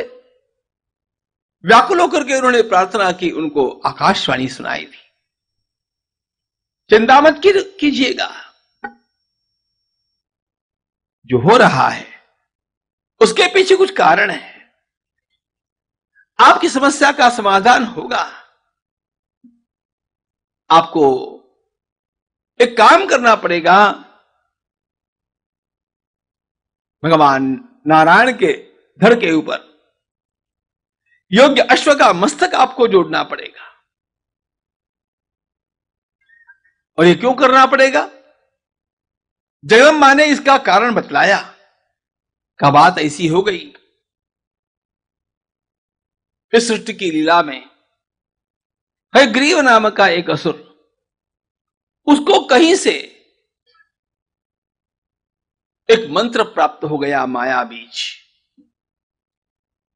ये अनेक बीज है। कभी आपके सामने वर्णन आएगा, माया बीज का, कभी आएगा वाघ बीज का, कभी आएगा और किसी बीज का। ये सारे ही मंत्र शास्त्र के अंग है। उसके विषय है।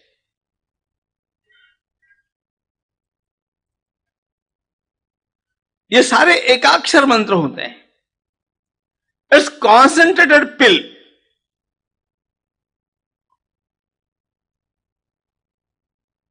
अब गणपति की उपासना आपने इतने दिनों तक की ही है, सुनी ही है, कहीं कैसेट वैसेट में भी सुना होगा गंग गणपत नमो नमा। इतना तो आपको पता ही है।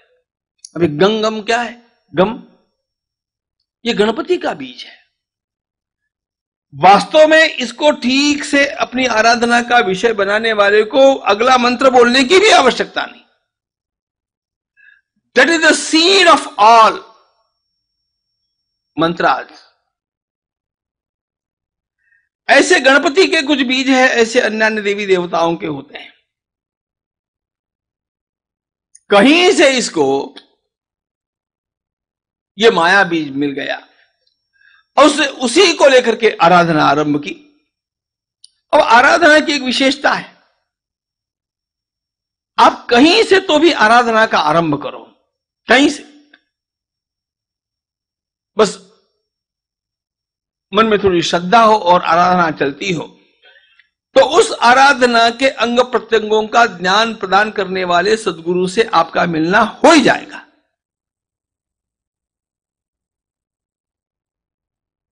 ज्ञानेश्वर महाराज वर्णन करते हैं, सदगुरु आप ऐसा भेटे चीगा चित्त शुद्धि की विशिष्ट अवस्था तक हम आए चित्त शुद्धि के विशिष्ट स्तर तक हम आए। अपने आप ही उस स्तर पर आपको सदगुरु की प्राप्ति तो होनी है। ये जैसे होता है, वैसे उस अवस्था के आते आते उस आराधना के करते करते भीतर से भी अनेक प्रकार का मार्गदर्शन आपको मिलना आरंभ होता है। दैट्स कॉल्ड इंट्यूशन आपकी अंत प्रज्ञा जग जाती है।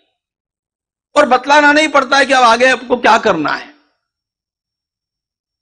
अंततोगत्वा सच्ची बात यह है कि आपको अपने गुरु की उपलब्धि अपने भीतर हो जाती है। मार्गदर्शन मिलता है। अब वो हयग्रीव के साथ हो गया। हयग्रीव को ध्यान में आने लगा कि मुझे वास्तव में तब कैसे करना चाहिए? वास्तव में और आगे क्या करना चाहिए? अब तो वो स्वयं बड़े तपश्चक्रे सरसत्या स्थिरे परमदारुणम। पुरा दैत्यो महाबाहुर हयग्रीवोति विश्रुत। जपन्नेकाक्षरम माया बीजात्मकम मम। निराहारो जितात्मा च सर्वभोग विवर्जिता साधना के साथ साथ वैराग्य की आवश्यकता होती दो में से एक भी पंख टूटने पर जैसे पंछी उड़ नहीं सकता, वैसे अभ्यास के अब जहाँ के तहां रह जाते हैं और कुछ लोग अभ्यास करने पर भी वैराग्य के अभाव में जहाँ के तहां रह जाते हैं। अभ्यास वैराग्याभ्याम तनिरोधा ऐसा भगवान पतंजलि का सूत्र है। तो एक और साधन भी करना पड़ता है, दूसरी ओर कुछ परहेज भी रखने पड़ते हैं।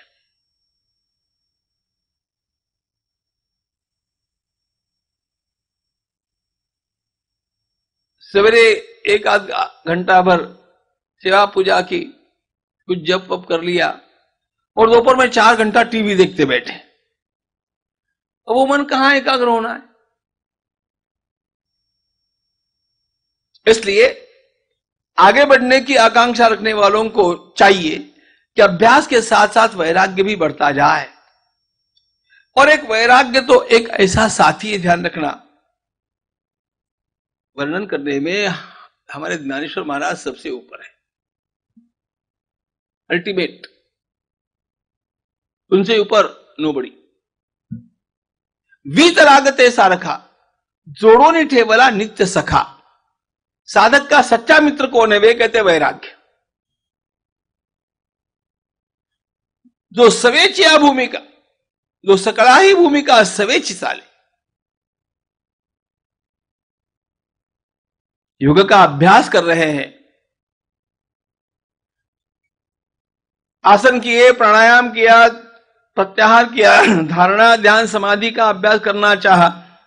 वैराग्य का साथ है तो ये सब संभव है।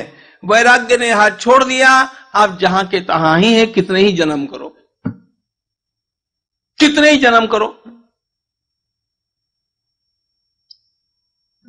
दोनों पंखों की आवश्यकता है। अनेक लोग अभ्यास के अभाव में गिरते रहते हैं, अनेक लोग वैराग्य के अभाव में गिरते जाते हैं।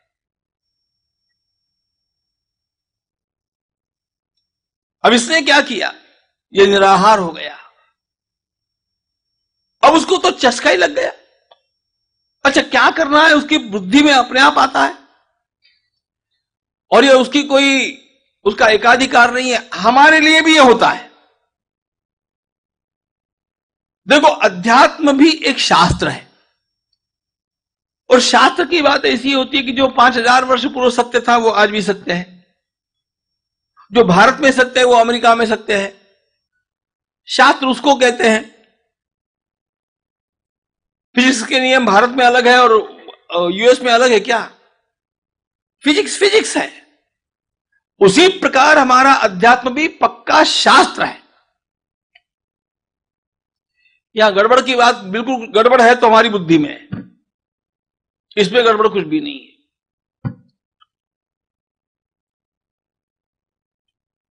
उसको भीतर से अनुभूति होने लगी। वो अधिकाधिक प्रगति करता गया। उसको ध्यान में आ गया कि बाकी अन्य कुछ भी करने से अच्छा तो यही है कि मैं यही आराधना करता रहूँ। पर आखिर क्या है? साधन करने वाले को परमात्मा का कोई अनुभव न हो ऐसा संभव ही नहीं है। इसलिए अपने आप ही ये घटना घटी। ध्यान माम तामसीम शक्तिम सर्वभूषण भूषिताम एवं वर्ष सहस्रंच तपश्चक्रे दारुणम। अब देखो बात क्या है। वो मूल में है असुर, और इसके कारण उसकी वासनाएँ हैं अलग प्रकार की। मूल में वो तमोगुणी है। तमोगुण में रह करके उसका चित्त एकाग्र हो गया। आपका चित्त जिस भी गुण में रह करके एकाग्र होगा, उस प्रकार की आपको अनुभूति होगी।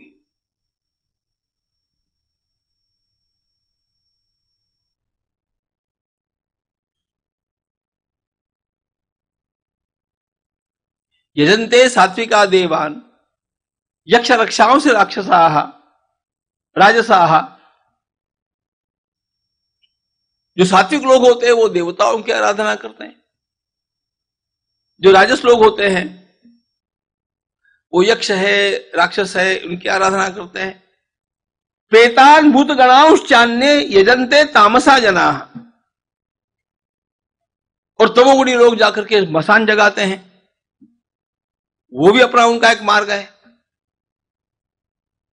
मूल बात यह है कि आपका चित्त जहाँ जिस गुण में एकाग्र होगा, उस प्रकार की सिद्धियाँ आपको प्राप्त होगी।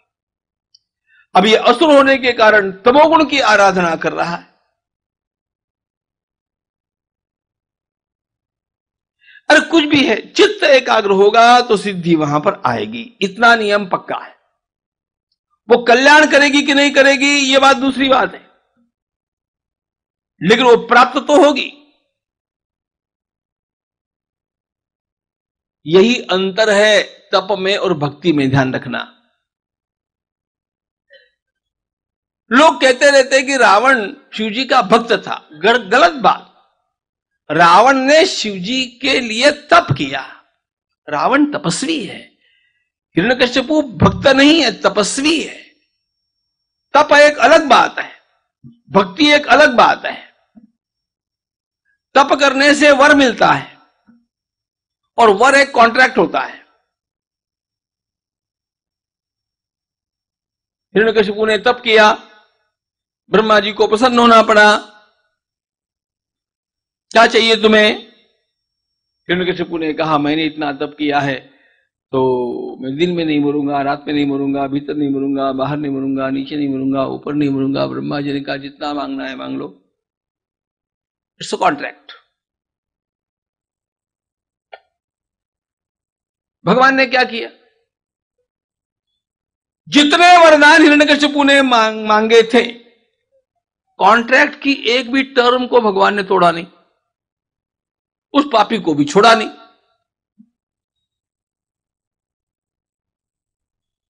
उसके तो पेट को चीरा उसका बेटा प्रहलाद। उसी रूप में भगवान ने जिस रूप से भगवान ने हिरण्यकशिपु को चीर करके समाप्त कर दिया उसी रूप से भगवान ने प्रहलाद को गोदी में लिया, उससे लाड़ प्यार करके अत्यंत प्रेम बरसाया। हिरण्यकश्यपु तपस्वी था, प्रहलाद भक्त थे। भक्ति और तप का अंतर ध्यान में आना चाहिए। रावण भक्त वक्त नहीं था। रावण तपस्वी था। हिरण्यकशिपु तपस्वी है। यह हयग्रीव तपस्वी है। तपस्या से वरदान मिलता है। भक्ति से भगवान मिलते हैं। और सेवा से आशीर्वाद मिलता है। इसलिए सेवा से कल्याण होता है। भक्ति से तो महाकल्याण हो गया। अब तपस्या के साथ साथ भक्ति चले, ये सोने में सुहागा है मूल में ये तमोगुणी है। इसलिए तामसी शक्ति का ध्यान किया। सिर्फ़ मारूढ़ भगवती जगदम्बा प्रकट हुई। और माँ ने कहा, बोलो, क्या चाहिए? सिंहो परिस्थिता तमवोचम दयानुता वरम ब्रूहि महाभाग, ददामी तव सुव्रत वरम ब्रूहि। आपकी भाषा में बोलूँ क्या? वरम ब्रूही का अर्थ होता है tell the terms of your contract terms and conditions सीधी बात यह होती है तो इसने कहा माँ मैं तो मरना ही नहीं चाहता हूँ। सब यही चाहते हैं। किसकी इच्छा है? बोलो। मरने की। तो उसकी तो कैसे हो? जगदम्बा ने कहा यह सृष्टि के नियम के विरुद्ध बात है। मृत्यु तो है। उसने कहा, तब ऐसा हो हयग्रीव से ही मेरी मृत्यु अब इसका नाम हयग्रीव। और यह कहता है कि मुझे मारने वाला कोई न कोई हयग्रीव ही होना चाहिए। माने का हो जाएगा।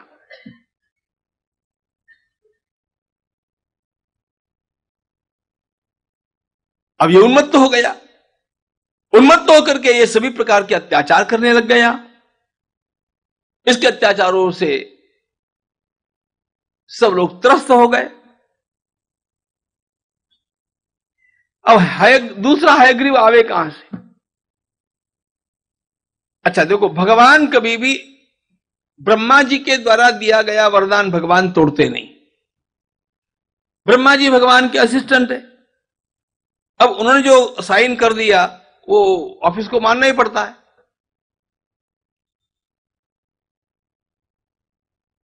तो ब्रह्मा जी ने क्या वरदान दिया है? इसका विचार भगवान तो करते ही करते हैं। यहाँ पर जगदम्बा ने वरदान दिया। तो अब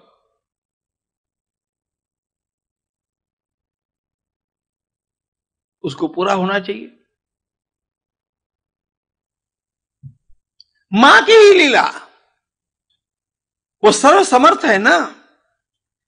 एक बार क्या हुआ?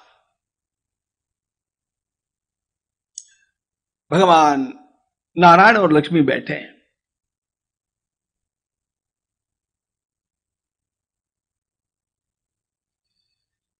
अब बैठे बैठे आपस में कुछ बातचीत चली है भगवान नारायण को कोई प्रसंग याद आ गया होगा, पता नहीं क्या हुआ। और एकाएक भगवान नारायण लक्ष्मी जी की ओर देख करके मुस्कुराए।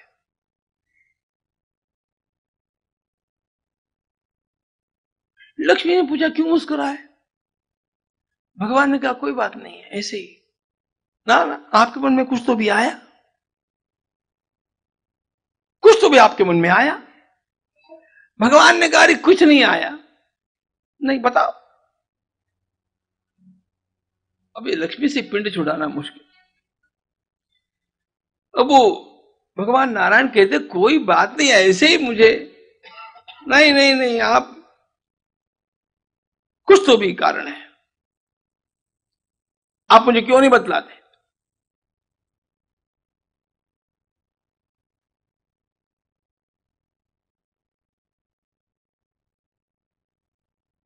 थोड़ी खटपट ज़्यादा ही हो गई। भगवती लक्ष्मी के भीतर एकाएक तमोगुण का उदय हो गया।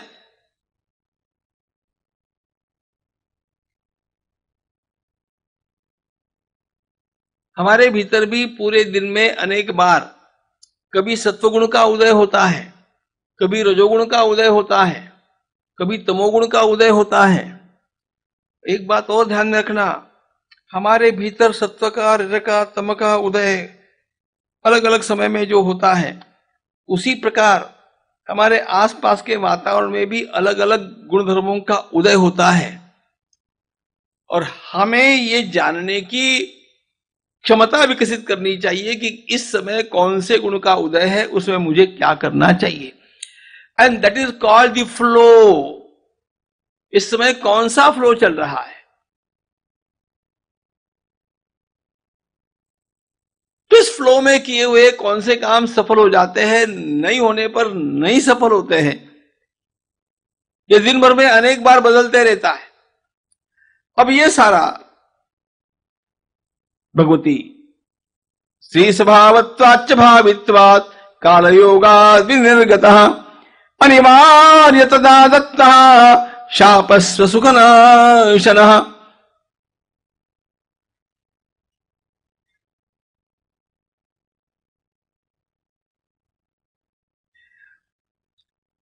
भगवती लक्ष्मी के भीतर एकदम तमोगुण का उदय हो गया।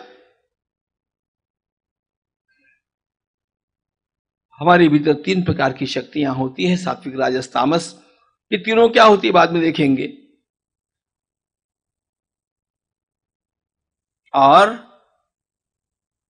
एकदम भगवती लक्ष्मी जी ने कह दिया, मेरी ओर देख करके मुँह बना बना करके आप हंस रहे हैं।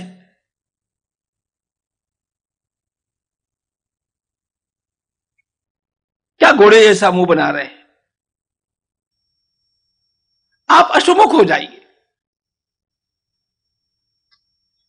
भगवती लक्ष्मी ने शाप दे दिया भगवान नारायण को, आप अशुमुख हो जाइए। भगवान नारायण कुछ नहीं बोले। उनको पता है, ये आदिशक्ति योग माया। कब किससे क्या कराना है, इस बात को जानती है, इसलिए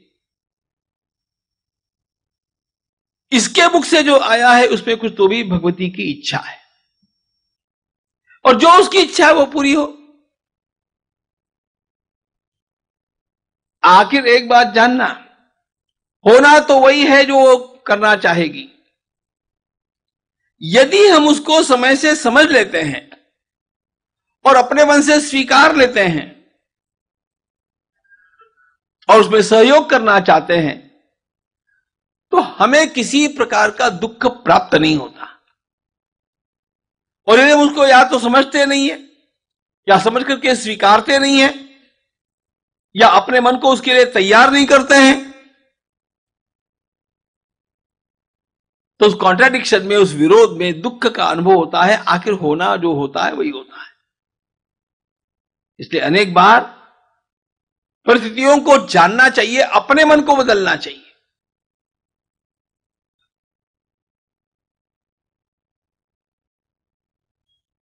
भगवान नारायण इन सब बातों को जानते ही है। इसलिए लक्ष्मी जी ने जब शाप दे दिया कि तुम अश्वमुख हो भव, आपका मुख घोड़े का हो जाएगा। चलो भाई। सपत्नी संभवम दुखम वैधव्याधिकंति विचिंत मन मनसेत्युक्तम तामसी शक्तियोषित। सशीर्षम वासुदेवंतम करोम्यद्यथा पुरा शिरोस्य शापयोगेन निमग्नम लवणाम्बुधौ।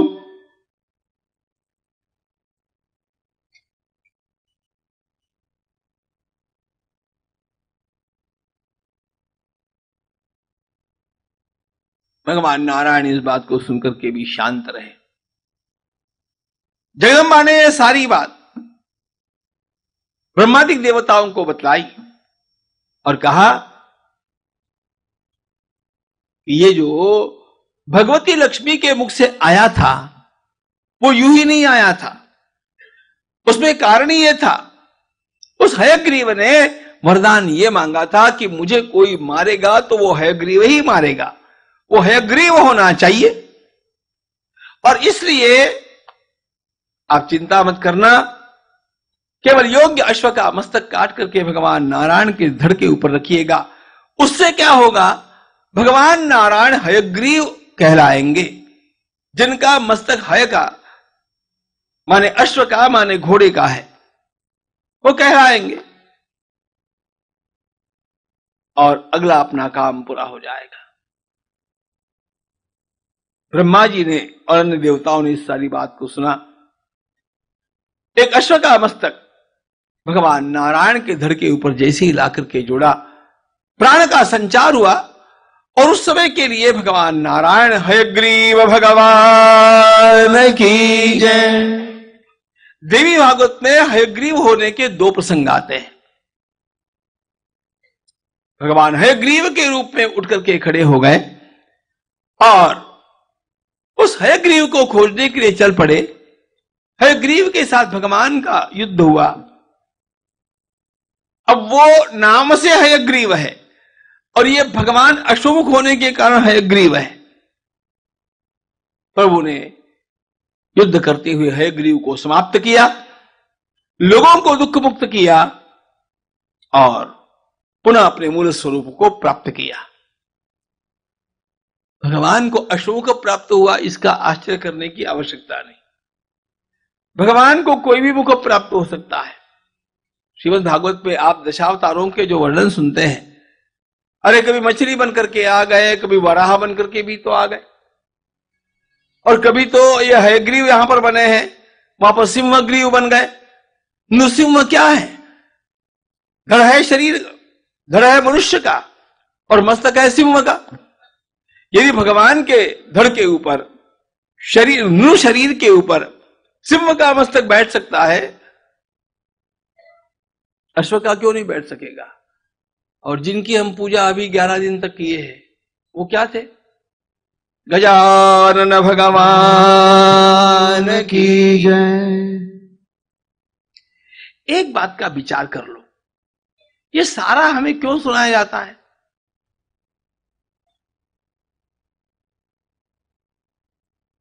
कभी मछली बन गए कभी वराह बन गए कभी सिंह का मुख आ गया कभी घोड़े का मुख आ गया, अब गणपति महाराज को तो गज का, हाथी का मुख आ गया, मस्तक आ गया।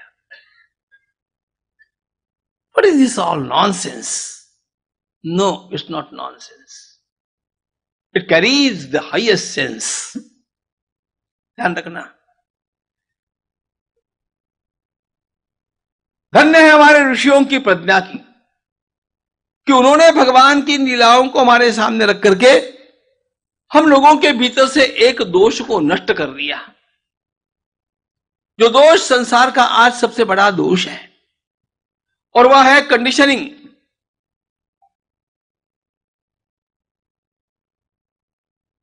एक पक्की ऐसी धारणा हम बना लेते हैं, अनेक धार्मिक लोग, कि बस भगवान ऐसे ही होने चाहिए।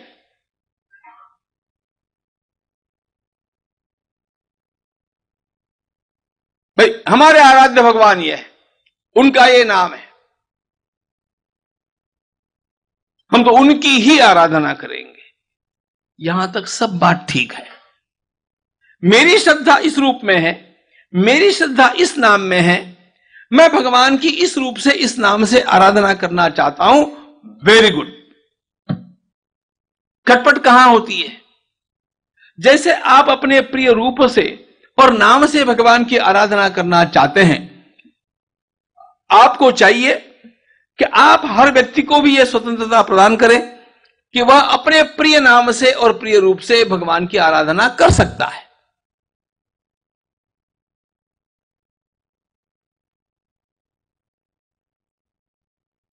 यह स्वतंत्रता आपको केवल सनातन धर्म में मिलेगी।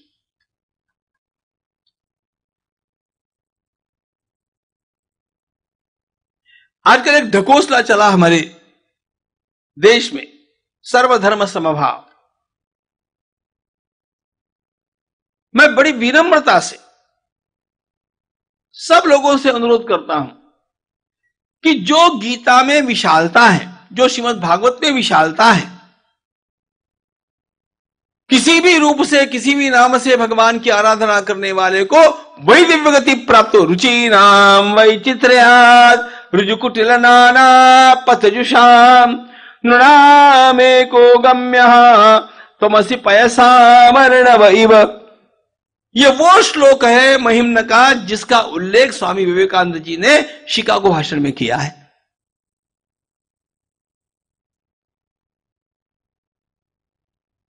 आकाश से बरसा हुआ जल भिन्न भिन्न मार्गों से जैसे जाकर के आखिर एक ही सागर सागर को प्राप्त होता है। उसी प्रकार भिन्न भिन्न नामों से और रूपों से अपनी अपनी रुचि के अनुसार की हुई हर उपासना, हर आराधना जीव को उसी एक परमात्मा तक पहुंचाती है। यह है सनातन धर्म का मूल तत्व। इसलिए हमारे यहाँ पर किसी भी एक रूप का आग्रह नहीं, एक नाम का आग्रह नहीं। यह विशालता यह उदारता आपको अन्यत्र कहीं पर भी मिलने वाली नहीं। इसलिए सभी धर्मों का आदर करना, लेकिन सनातन हिंदू धर्म सर्वश्रेष्ठ है, इस भावना को अंतकरण में निरंतर धारण करना। क्योंकि ये उदारता, ये विशालता आपको अन्यत्र मिलती नहीं, मिल, आप दिखा सकते मुझे। आप सुबुद्ध श्रोता है सब। ना? तेरे नाम अनेक तू एक ही है। तेरे नाम अनेक तू एक ही है। तेरे रूप अनेक तू एक ही है। तेरे रूप अनेक तू एक ही है। तेरी रंग भूमि यह विश्व भरा। तेरी रंग विश्व भरा तेरी रंग भूमि यह विश्व भरा तेरी रंग भूमि यह विश्व भरा हर खेल में मेले में तू ही तू है हर खेल में मेले में तू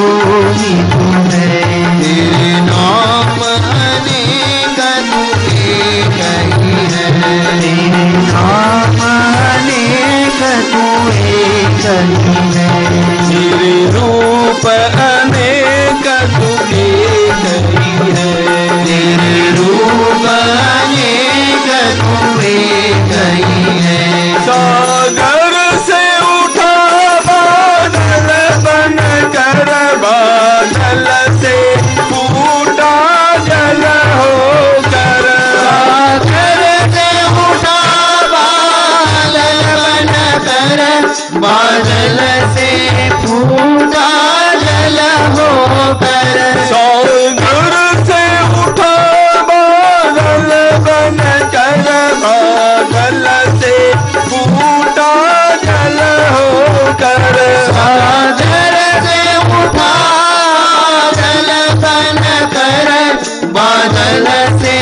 पूजा जल कर नहर बना, नदिया गहरी। गहरी नहर बना, नदिया गहरी। गहरी नहर बना, नदिया गहरी। गहरी नहर बना मेरी विभिन्न प्रकार तुझे कही है। विभिन्न प्रकार तुझे कही है। विभिन्न प्रकार तुझे कही है। विभिन्न प्रकार तुझे कही है हर देश में तू।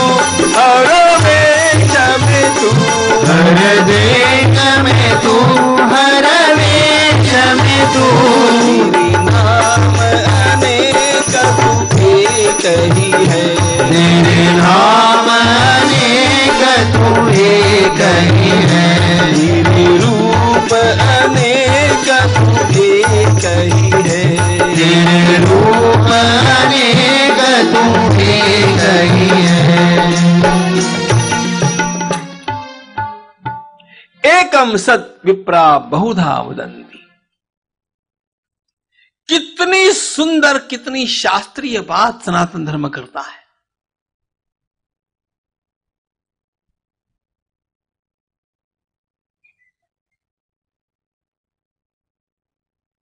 हम लोगों को तो ध्यान में नहीं आता है कि भगवान के नाम पर, भगवान के रूप के नाम पर, आराधना के नाम पर इतने झगड़े भी हो सकते हैं और इतनी मारकाट भी हो सकती है। हमारे दिमाग में नहीं घुसता है।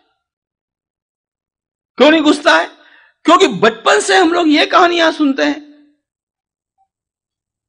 कहीं भगवान मछली बन गए, कहीं भगवान वराह बन गए, कहीं भगवान नृसिंह बन गए, कहीं भगवान हयग्रीव बन गए, कहीं भगवान गजानन भगवान की कुछ भी बन जाते हैं, हमें आपत्ति होने की संभावना ही हमारे ऋषियों की इन कहानियों ने समाप्त कर दी।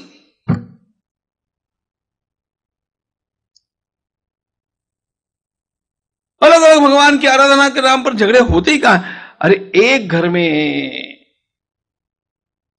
पिताजी शिव जी की पूजा करते, सोमवार का व्रत रखते, इतना बड़ा त्रिपुंड धारण करते बम भोलेनाथ, बाबुलनाथ, टिकड़ी वाले की।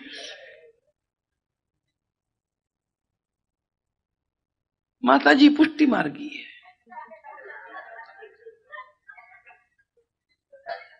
उसका लाला इतना सा है। वो दिन में बहुत सोता ही रहता है। थोड़ी देर जगता है। वो उसकी सेवा में लगती है।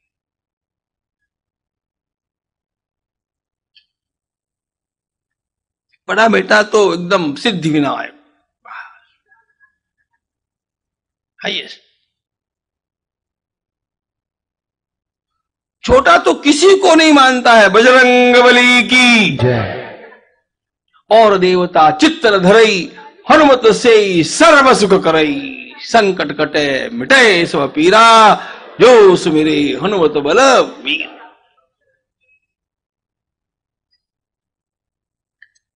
और हमारे घर में नई बहू आई है। उसने अपने साथ पियर से संतोषी माता लाई है। अब देखो।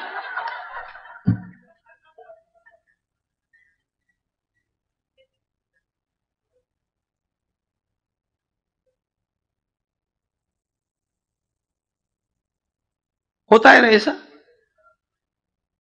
अब पचास साठ साल पहले संतोषी माता पता नहीं बेचारी कहाँ थी।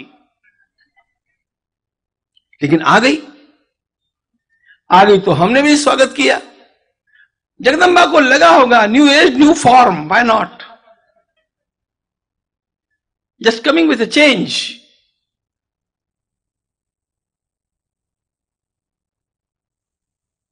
अरे पोथी बन गई। मंदिर बन गए। फ़िल्म हो गई, आरती उतरने लगी। शुक्रवार का उपवास आरंभ हो गया। उसमें क्या खाना, क्या नहीं खाना, वो निश्चित हो गया। लोगों को अनुभव भी आने लग गया। वंडरफुल ये ये है कि नहीं बोलो? ये धर्म हमारा गंगा जी के समान प्रवाही धर्म है, ध्यान रखना। इतना सुंदर, इतना पवित्र संसार में आपको कहीं कुछ नहीं मिलेगा। और ये सारी पवित्र भावनाएँ हमारी इसलिए बनती रही कि हमारी धारणाएँ ऋषियों के इस ज्ञान के प्रवाह में धुलती रही। इसलिए कभी ये सड़ी हुई मनोवृत्ति निर्माण हुई ही नहीं।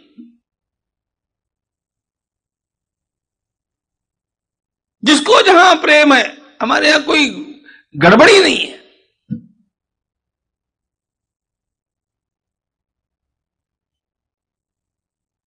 ये ऋषियों की महती कृपा। और ये बुद्धि इसलिए इतनी उदार बनती जाती है कि उन्होंने अपने आप कर दिया। आगे चल करके देखो, आज जो सारे संसार में इतना बड़ा खून खराबा केवल धर्म को लेकर के हो रहा है ना सो बैड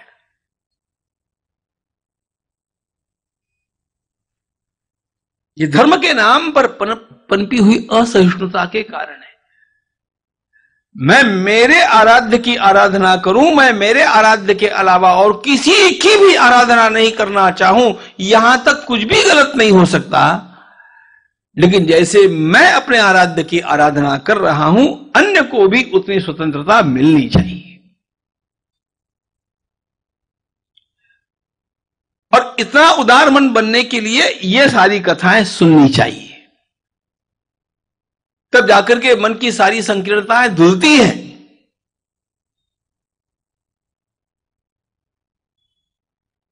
महात्मा सूत जी महाराज वर्णन करते हैं, मुनीश्वरों। प्रभु ने स्वयं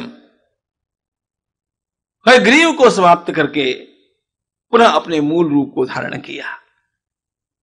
ये सारी बात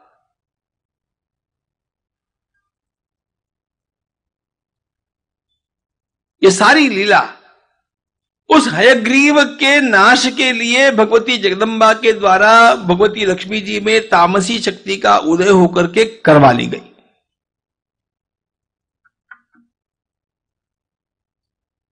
देव कार्य के लिए कई कई माता में भी तो ऐसी तामसी शक्ति का ही उदय हो गया ना।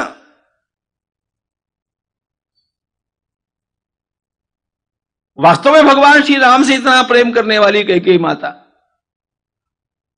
उसी दो अध्यायों में आप देखेंगे कितना प्रेम है भगवती कई माता का श्री राम से। भगवान श्री राम के राज्याभिषेक की वार्ता जब मंथरा से सुनी, मैं वाल्मीकि से बोलता हूँ, ध्यान रखना। और जहाँ तक राम कथा का प्रश्न है, वाल्मीकि से बड़ा प्रमाण कुछ भी नहीं है। बाकी सब आप अपना जान लो, जो जानना है। दो ही अध्यायों में कितना कई कई माता को प्रेम उमड़ गया। राम जी के राज्याभिषेक की बात को सुनकर के। मंत्रा को उसने तुरंत अपना रत्नहार प्रदान कर दिया।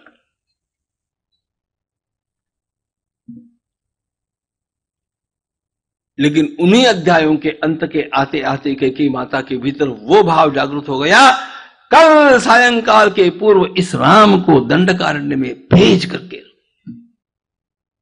ये जगदम्बा के द्वारा किया गया भूमिका का परिवर्तन है।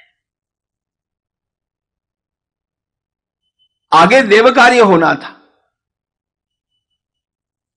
रावण का नाश, ये राम कथा का मूल विषय है लक्ष्य है। और भगवान श्री राम इस बात को 16 वर्ष की अवस्था से अपने मन में धारण करके चले हैं, वाल्मीकि राम कथा के अनुसार। वो भगवती सीता जी का अपहरण रावण ने किया इसलिए रावण को मारा। ये सब बच्चों की राम कथा है, ध्यान रखना। It's very small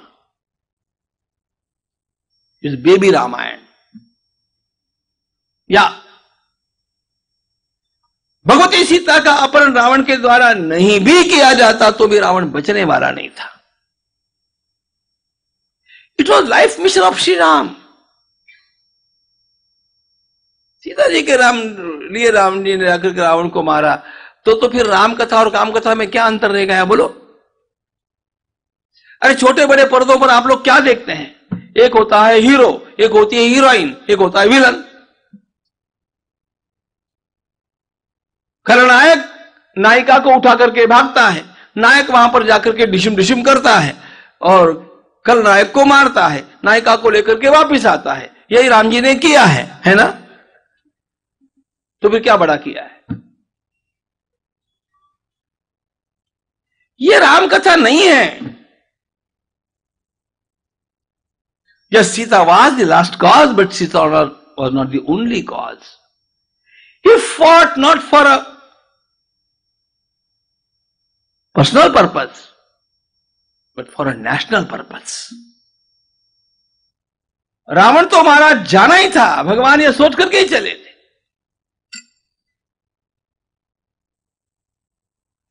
मूल बात, उस कार्य के लिए कई कई माता के अंतकरण में तामसी शक्ति का ही उदय हुआ ना? और कितनी तामसी शक्ति है वो?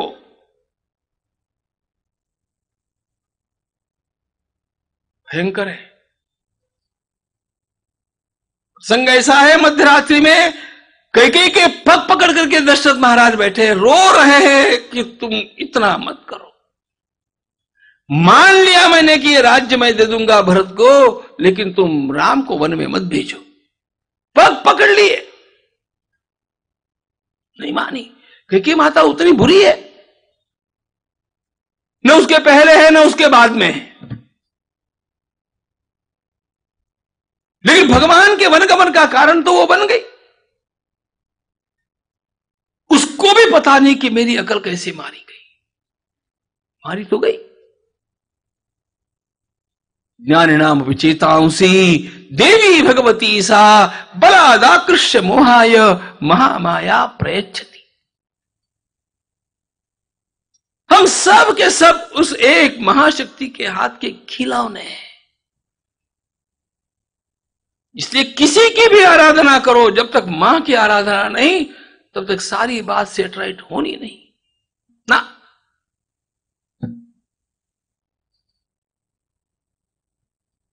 कितना ही कृष्ण कृष्ण क्यों नहीं कर लेंगे? अरे कृष्ण भगवान ही राधा जी की पूजा करते, क्या करना? इसलिए व्रज में तो लोग कहते हैं, राधा बिना कृष्ण आधा। उसमें भी जो स्पेशल लोग हैं, वो कहते हैं आधा भी नहीं, आधे से भी कम। वृंदावन बिहारी लाल की जय।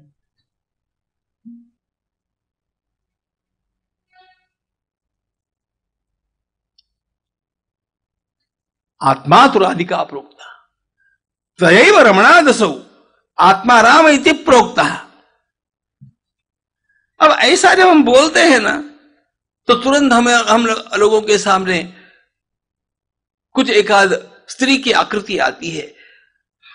हम लोगों को ये बातें मूल थोड़ा ज्ञान का अधिष्ठान लेकर के समझनी चाहिए। सारा संसार शिव शक्त्यात्मक है। शक्ति के बिना कोई काम होने वाला नहीं है। न राम जी का होना है, न कृष्ण भगवान का होना है, न शिव जी का होना है, न नारायण का होना है, किसका होना है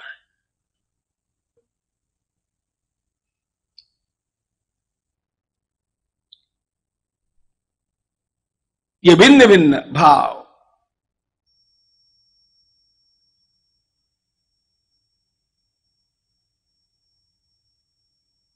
विश्व के नियंत्रण के लिए उस महामाया के द्वारा जिनको वो चुनती है, उनके भीतर जागृत होते हैं। ध्यान रखना, जिनको वो चुनती है, सबको नहीं चुनती है। Many are called, but few are chosen.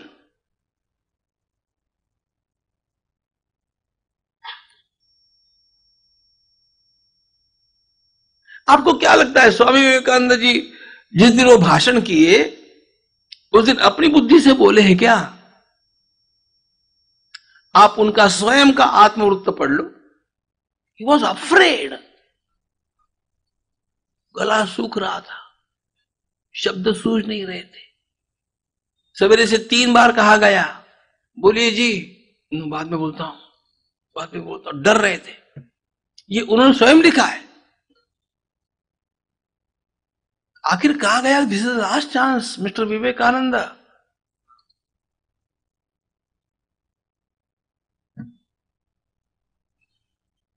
Swami ji नहीं बोले, ध्यान रखना, वो महामाया है। जगदम्बा क्योंकि डरते हुए स्वामी जी ने पीछे देखा, उनको उनके गुरुदेव का दर्शन हुआ। गुरुदेव की कृपा की ऐसी वृष्टि हो गई, जो शब्द निकले वो ही इतिहास को बदलने वाले शब्द हो गए। हु डज इट सी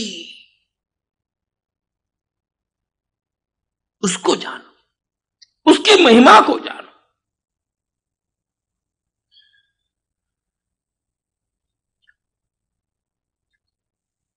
वो कृपा हमें प्राप्त कैसे हो सकती है? इसकी बारियाँ खोलो। वो बारियाँ कैसे खुल सकती है, ये दिखाने के लिए देवी भागवत है। आपको छोटी मोटी कहानियाँ सुनाने के लिए नहीं है। पुराण कथाएँ अत्यंत मनोज्ञ और सरल शैली में हमारे भीतर के इन सारे द्वारों को खोल देती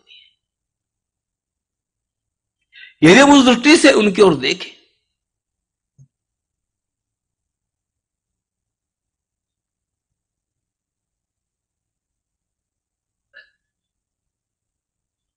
त्रिपुर सुंदरी नमो नमो त्रिपुर सुंदरी नमो नमो त्रिपुर सुंदरी नमो नमो त्रिपुर सुंदरी नमो नमो महालक्ष्मी जय नमो नमो महालक्ष्मी जय नमो नमो महालक्ष्मी जय नमो नमो महालक्ष्मी जय नमो नमो आदिशक्ति जय भगवती अम्बे आदिशक्ति जय भगवती अम्बे तिरूपिणी ज्योतिरूपिणी दिव्यपराम्बे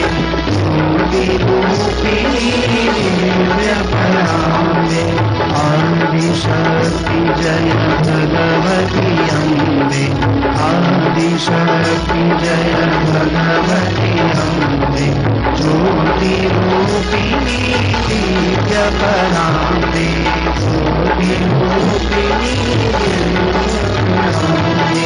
भुवनेश्वरी जय नमो नमो। भुवनेश्वरी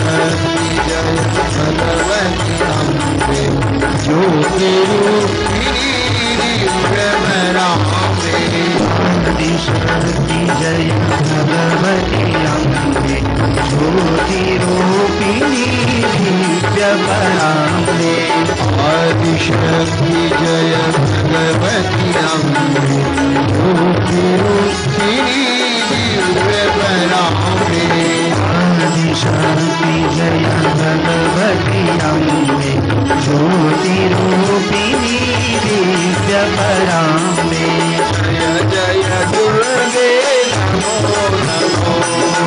जय जय दुर्गे नमो नमो जय जय दुर्गे नमो नमो जय जय दुर्गे नमो नमो माता की जय। सुत जी महाराज से मुनीश्वरों ने फिर एक प्रश्न पूछा,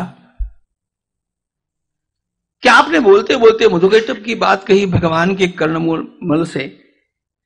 कुछ असुर निर्माण हो गए थे, कहा था सुत जी महाराज। उस कथा को भी संक्षेप में यहाँ पर बतलाते आगे चल करके ये कथा विस्तार से आती है। जहाँ विस्तार से आती है, वहीं पर देखेंगे। विष्णु कर्णमरोद्भूत इन सारी कथाओं का श्रवण करने के उपरांत भगवान वेद व्यास जी का यह निश्चय तो हो गया कि जगदम्बा की आराधना करनी चाहिए और वे स्वयं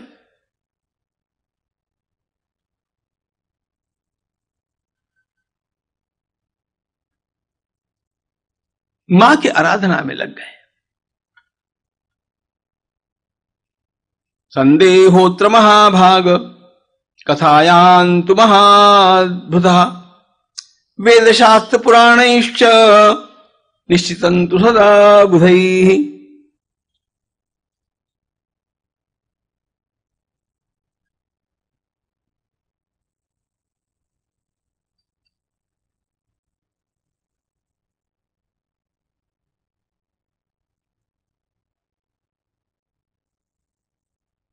किसी भी देवता का प्रभाव, उसकी शक्ति होने पर ही है।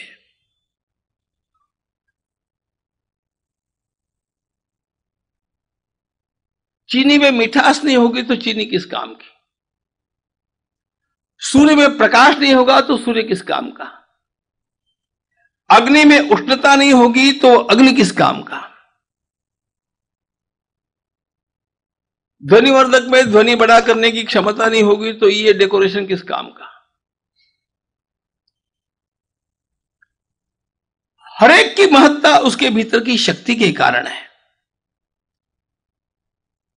और इसलिए शक्ति शक्तिहीन तुरिन्यम सियाद वस्तुमात्रम चराचरम, अशक्त शत्रु विजय गमने भोजने तथा एवं सर्वगता शक्ति। सा ब्रह्मेति विविच्यते, सोपास्या विविध सम्यक, विचार्या सुधिया सदा। शक्ति की आराधना, शक्ति की उपासना, इसी को सर्वोच्च स्थान निर्णय के रूप में भगवान वेदव्यास जी के भी भीतर निर्माण हो गया।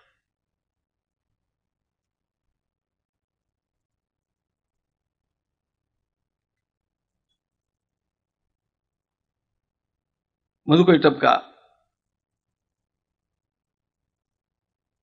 प्रसंग भी सूत्र जी ने यहाँ पर बतला दिया। दो क्षणों में देख करके पूरा करते उसको, सारी बातें विस्तार से नहीं देख पाएँगे, इतना तो आप भी समझ सकते हैं।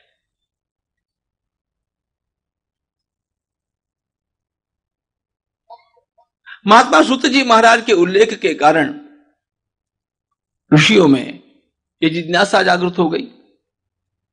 और उन्होंने बतला दिया कि सृष्टि के आरंभ में जब भगवान ब्रह्मा जी को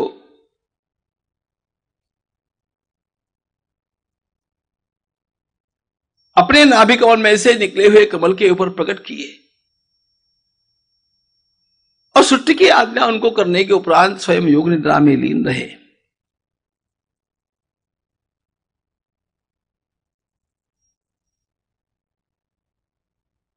एकाएक ब्रह्मा जी जब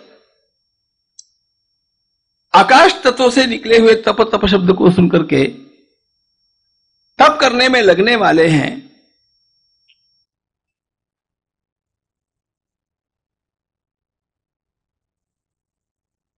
एकाएक दो असुर उनके पीछे पड़ गए।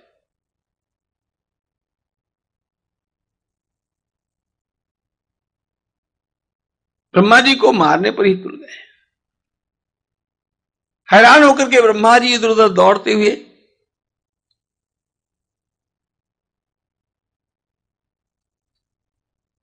भगवान नारायण तक आते हैं।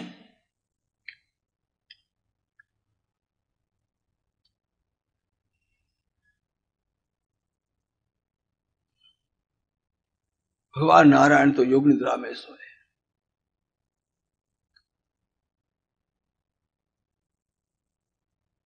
प्रभु ने एक बात कही थी, जब कभी आप पर आपत्ति आवेगी,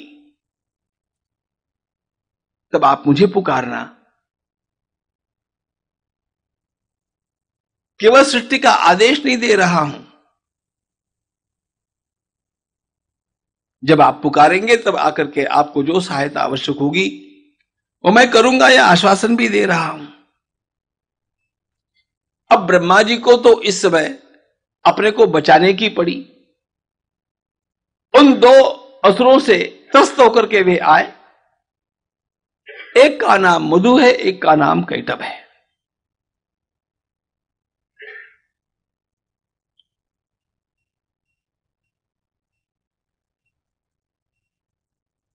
देख रहे कि जो हमें, मैं आपका रक्षण करूँगा, ऐसे कहकर के योग निद्रा में सोया है। उसकी नींद ही नहीं खुल रही है।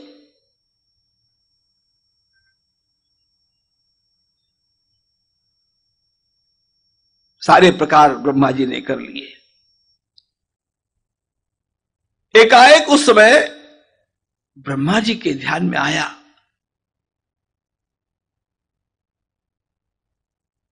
अब आया। ये सारा विश्व जिस जगदम्बा के माध्यम से चलता है, जिनके आज्ञा का पालन हम लोग करते हैं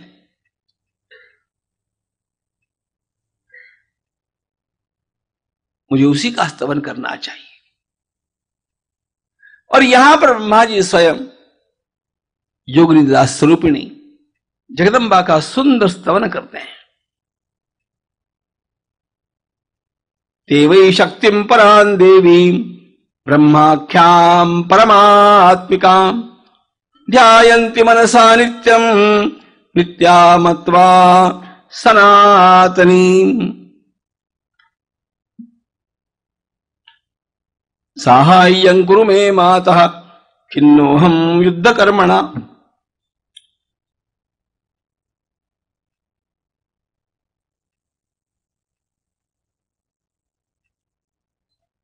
ब्रह्मा जी के द्वारा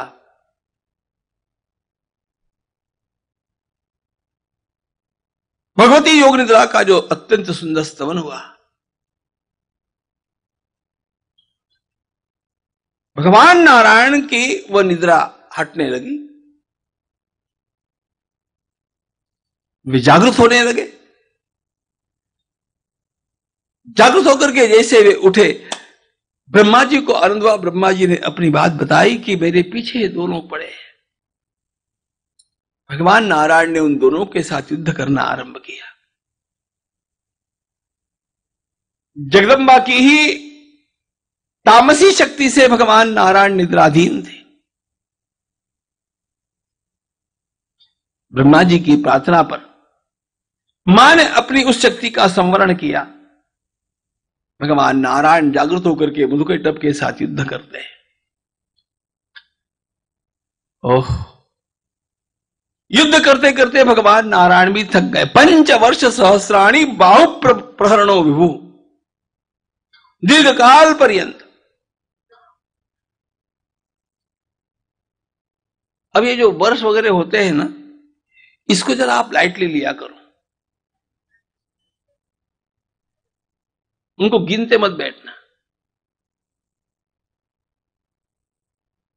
भाषा की शैली भी समझनी चाहिए।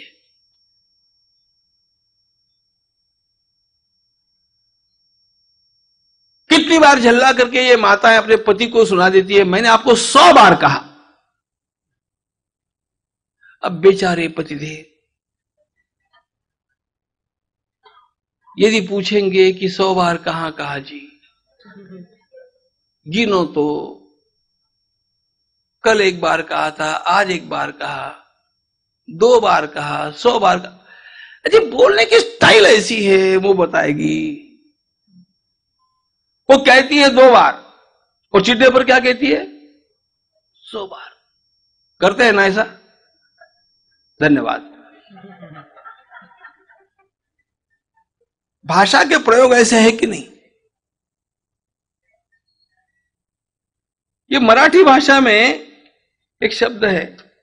अरे, मी तुला सतराशे साठ वेळा सांगितलं अभी सतराशे साठ कहाँ से आया? मैं तो खोज कर रहा हूँ।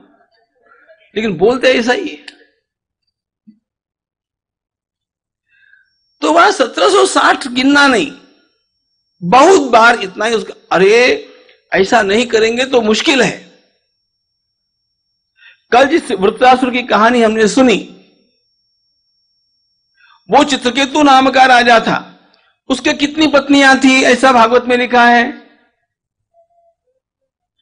हम्म? एक करोड़।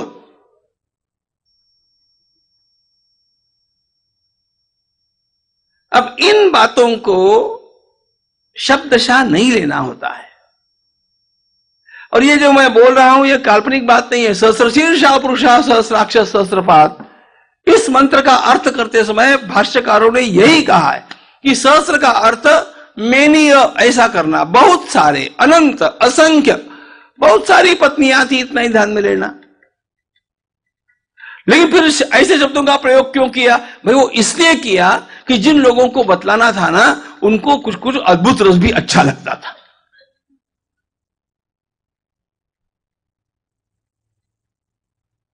ये पुराण कथाएँ सब श्रोताओं को सुनाने के लिए है। वेदांत ही सुनना हो तो स्वामी जी के पास जाओ।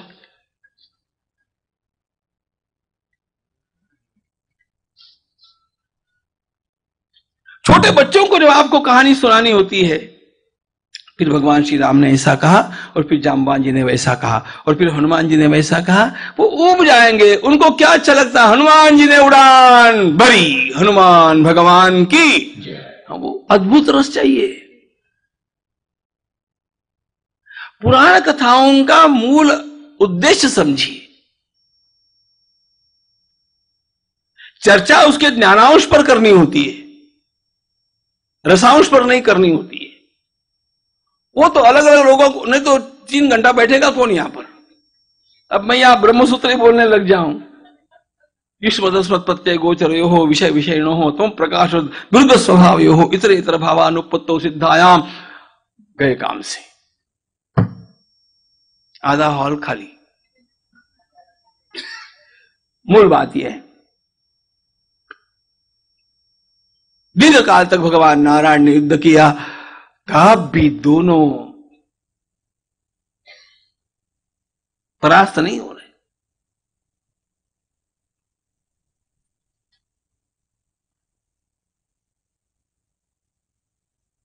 क्यों नहीं हो रहे थे? अरे इन दोनों ने भी जगदम्बा की आराधना की थी। इनको भी एक बीज मंत्र मिल गया। घोर तपस्या की। आराधना की। तो आराधना करने पर वरदान तो मिलता ही है। आप भी करो, आपको भी मिलेगा। ये प्राचीन काल में मिलता था, आज नहीं मिलता है, ऐसी बात नहीं है। तब करने पर मिलेगा।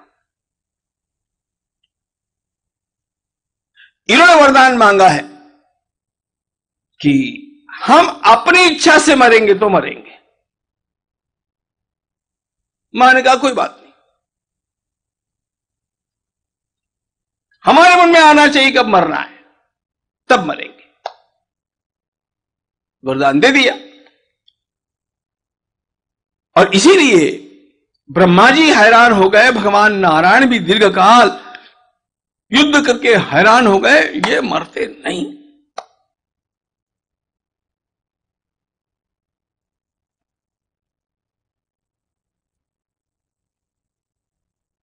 इन दोनों ने कहा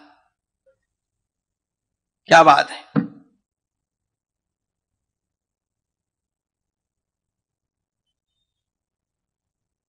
हो गए ना ढीले? तो विष्णु भगवान बोले अरे आप दोनों एक युद्ध करता है एक विश्राम करके आता है फिर वो युद्ध करता है वो विश्राम करने जाता है। आप दोनों को बारी बारी से विश्राम मिलता है। मैं अकेला आप दोनों के साथ बारी बारी से इतने वर्षों से लड़ रहा हूँ। आप कहे क्या मुझसे बलवान? मुझे विश्राम दोनों ने कहा थोड़ा विश्राम कर लो। थोड़ा समय भगवान नारायण को मिला। उस समय में उनके याद आया, ये अपने बल से मरने वाले नहीं है।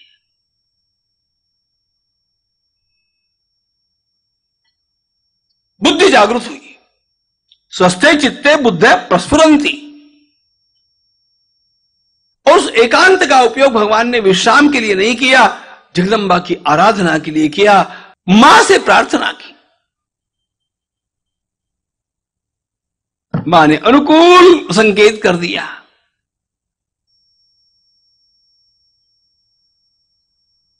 पता चल गया भगवान नारायण को कि अब माँ के आशीर्वाद मेरे पीछे हैं। ताज़ा होकर युद्ध के लिए आए। और क्या किया? देखो, वाणी भी वो वो संचालित करती है। भगवान नारायण एकदम बोल गए, धन्यवाद आपको भाई, आपने मुझे विश्राम करने का समय दिया। लेकिन ये जो आपने मेरे लिए सहयोग दिया, मैं आपको कुछ वरदान देना चाहता हूँ। मांग लो कुछ वरदान। ऐसा भगवान नारायण बोल गए।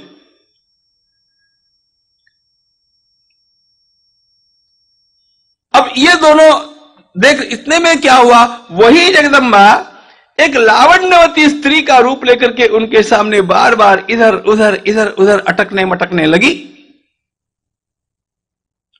अब इन्होंने जब उस स्त्री को देखा, ये समझे नहीं कि वो जगदम्बा जगदम्बा किस समय कौन रूप लेकर के आएगी, क्या पता? ध्यान रखना।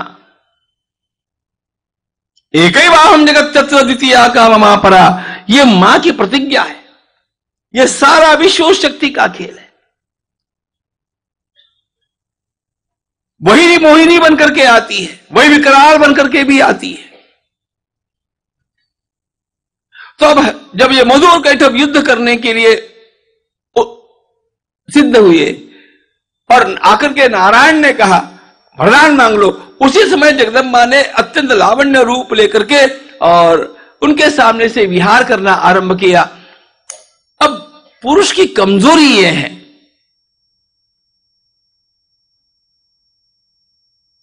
वह महिलाओं के सामने इंप्रेशन अच्छा रखना चाहता है।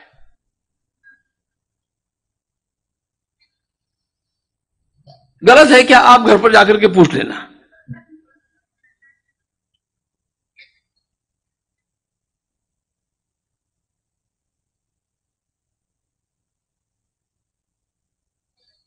केवल पुरुषों के सामने अपमान हो गया ना, उतना बुरा नहीं लगता है पुरुषों को। लेकिन मैडम के सामने इंसल्ट हो गया ना, आहा, खत्म।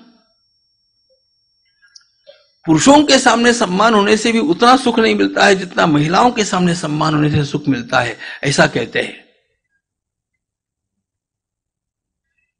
ये मानव हृदय की कमज़ोरी है। अब वो जब लावण्यवती स्त्री के रूप में इधर उधर से अटक मटक रही है और इधर भगवान नारायण ने पूछा कि, मांगो वरदान तो इनको भी लगा कि अपना इंप्रेशन जरा हायर होना चाहिए। भाई भाई आप क्या हमें वरदान देने वाले हो रहे तुम्हें चाहिए तो तुम मांग लो वरदान हमसे। ऐसा उनके द्वारा बोला गया और एकदम नारायण की बुद्धि की स्फूर्ति क्या देंगे आप मुझे वरदान।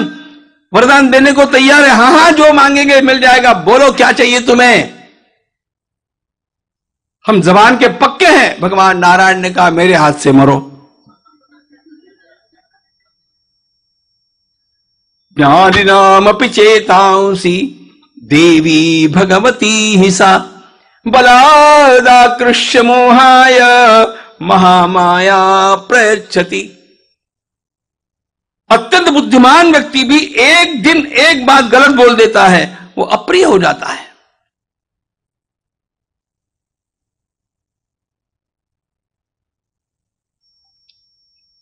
ये वाक शक्ति भी जगदम्बा के हाथों में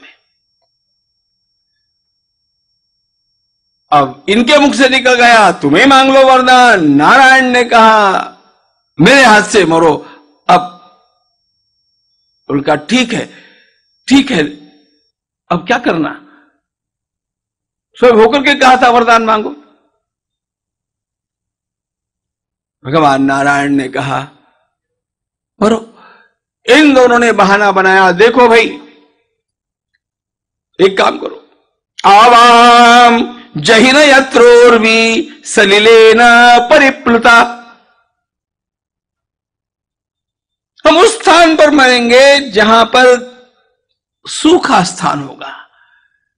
अब सर्वत्र पानी पानी पानी पानी, प्रलय का जल। कहीं सूखा स्थान नहीं। अभी जैसा बंबई में हो गया है वैसा।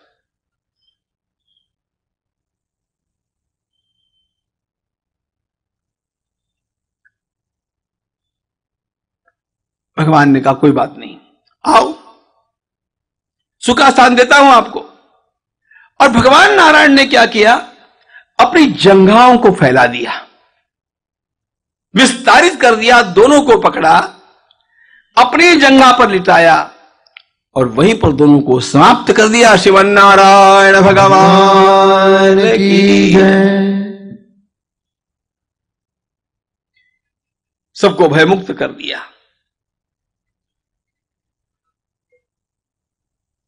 मधु और कैटभ कान के मलक से निर्माण हुए हैं। हमारे भी कानों में मल निर्माण होता है। ये शारीरिक मल की बात नहीं कर रहा हूँ। जब बहुत दिनों तक हम आकर के प्रेमपुरी में श्रवण नहीं करते हैं नो तो अपनी बुद्धि में मल निर्माण हो जाता है।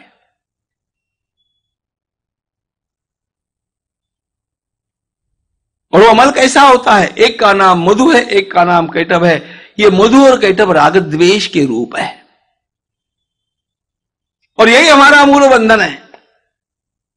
सारा संसार राग द्वेष से भरा हुआ है हमारे लिए। ये अच्छा लगता है, ये बुरा लगता है, वो अच्छा लगता है, वो बुरा लगता है। द्वंद्वात्मक जीवन हो गया। और इन द्वंद्वों के कारण ही हमारा मन रात दिन अशांत है, द्वंद्व। सुखी कौन होता है? द्वंद्व विमुक्ता सुख दुख संज्ञर द्वंद्व विमुक्ता। लेकिन द्वंद्वों से मुक्त होगा कौन? पहली बात, जिसका श्रवण ठीक होगा, और दूसरी बात भगवान नारायण ने अपने आसन को विस्तारित कर दिया। आसन को विस्तारित करने का अर्थ ही सीधा यह है, जिस प्रकार श्रवण करना चाहिए, उसी प्रकार शांत बैठ करके ध्यान भी करना चाहिए। केवल श्रवण करने से नहीं होगा। स्वाध्याय योग मासीत योगा स्वाध्याय मासते। एक करना स्वाध्याय और एक करना योग। योग स्वाध्याय संयुक्त। परम गति प्राप्त उसी को होती है, जो स्वाध्याय भी करते रहता है और योगाभ्यास भी करते जाता है। और ये स्वाध्याय भी होना और योगाभ्यास भी होना दोनों जगदम्बा की कृपा से होते हैं। और ये जगदम्बा तक पहुंचाते हैं। महात्मा सूत्र जी महाराज वर्णन करते हैं मुनीश्वरों। भगवान वेद व्यास जी के ध्यान में इन सारी बातों से एक दो बात आई गई।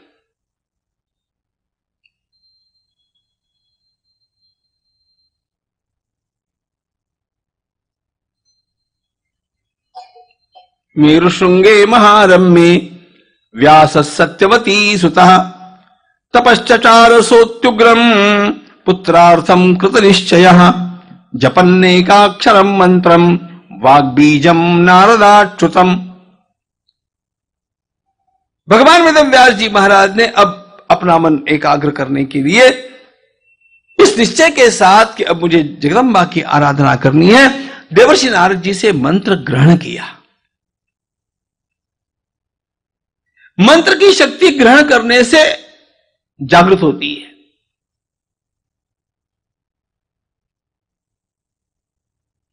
किसी परंपरा से मंत्र अपने पास आना चाहिए। वैसे मंत्र सारे पुस्तकों में लिखे हुए होते हैं। और कई पुस्तक में आपको नहीं मिले तो गूगलम शरणम रज।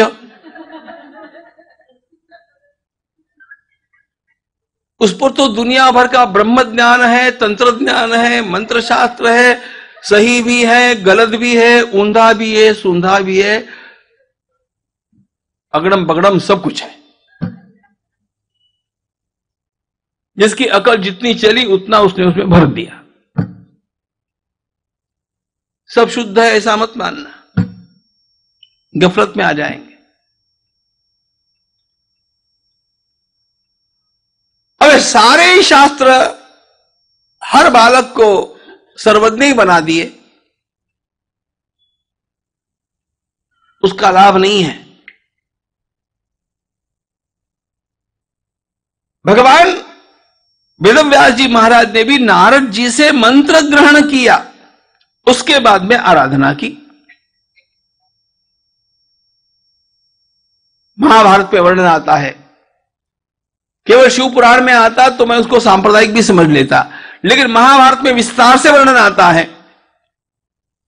कि भगवान श्री कृष्ण ने स्वयं उपमन्यु महाराज के पास जाकर के शिव मंत्र ग्रहण किया, शिव मंत्र की दीक्षा ली।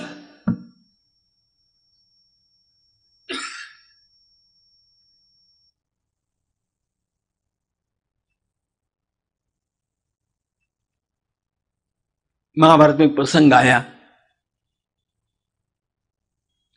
विस्तार करने का समय नहीं। लेकिन भीमसेन ने बकासुर को मारा, उसके पश्चात जब ब्राह्मण वेश में पांडव आगे चले, अंगार पर्ण के साथ अर्जुन का युद्ध हुआ। यह अंगार पर्ण मूल में चित्ररथ नाम का गंधर्व है।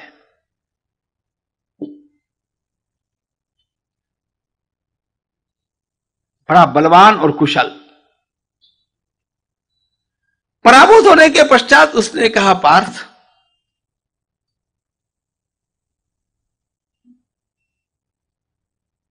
तुम मुझे पराभूत नहीं कर सकते थे। कोई नहीं कर सकता था। लेकिन तुम मुझे पराभूत कर सके, इसका मुख्य कारण यह है कि तुम्हारा ब्रह्मचर्य अक्षुण्ण है। तुम्हारे व्रत पालन ने मेरा पराभव किया। बाद में दोनों की फ्रेंडशिप हो गई थी। मुझे बातचीत करते फिर उसने कहा, इतने पराक्रमी और इतने सदाचारी होकर के भी आप ये दर दर ठोकरे खाते काय को घूम रहे रे, हा? राज्य आपका, भागना पड़ा आपको। ब्राह्मण का अभ्यास बना करके आप भिक्षा मांगते हुए घूम रहे हैं। इतनी योग्यता होने पर भी इसका एक ही कारण है, अर्जुन, आपके गुरु ही नहीं है। जिसके ऊपर गुरु का छत्र नहीं है, उसकी अधोगति निश्चित है।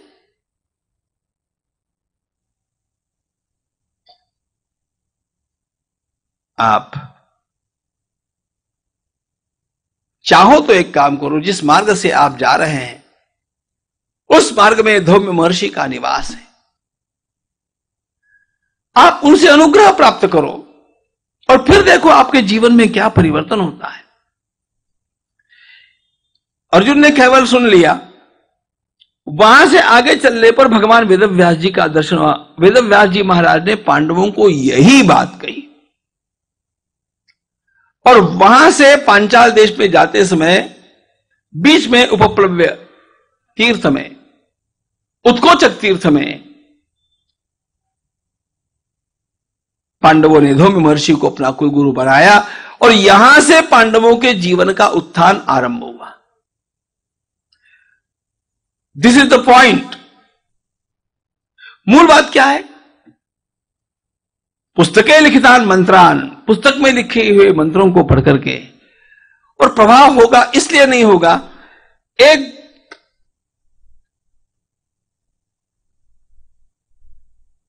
पिस्तौल में गोली होती है। उस गोली को आप अपने हाथ में लेकर के फेंक करके मारिए। लगेगा कुछ तो भी चोट पीट आएगी। लेकिन उसी गोली को जब हम पिस्तौल में भर करके छोड़ते तब क्या होता है?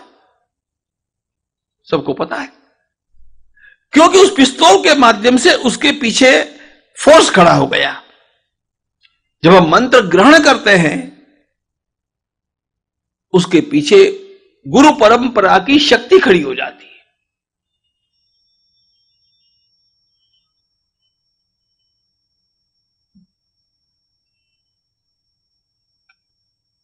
श्रीमद भागवत है, देवी भागवत है, ज्ञानेश्वरी है, रामचरित मानस है, आप जहाँ पन्ने खोल करके पढ़ेंगे, वहाँ इस गुरु महिमा को जानेंगे। मंत्र ग्रहण किया। वेद व्यास जी को पता नहीं था, ऐसी बात नहीं है। अब श्री राम, जय राम, जय जय राम, एक सादा मंत्र होता है। कहीं पर भी हम लोगों को पता ही पता है। उसको भी गुरुमुख करके क्यों लेना होता है? उसका कारण ये परंपरा की शक्ति मेरे पीछे खड़ी होनी चाहिए। दृश्य नारद जी से मंत्र ग्रहण करने के पश्चात भगवान वेद व्यास जी महाराज ने तत्र हेम गिरे श्रृंगे संगीत ध्वनिनादिते तपश्चार धर्मात्मा व्यास सत्यवती सुत।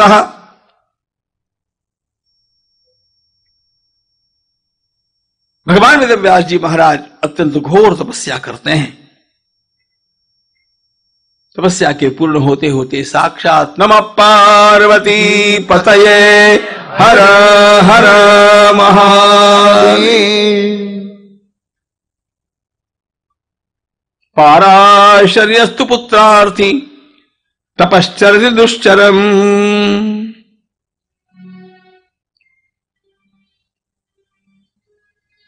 इंद्र को बुला करके भगवान महादेव ने कहा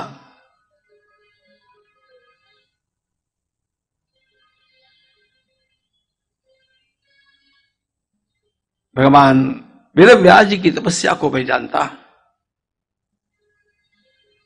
उनको जिस प्रकार का पुत्र चाहिए, वह अवश्य प्राप्त होगा।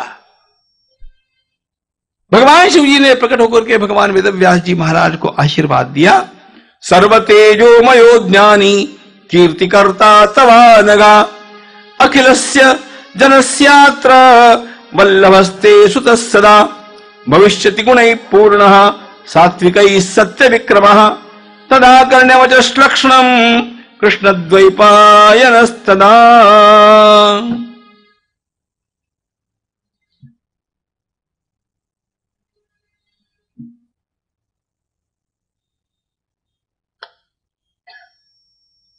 अत्यंत श्रेष्ठ ज्ञानी, आपकी कृति का विकास करने वाला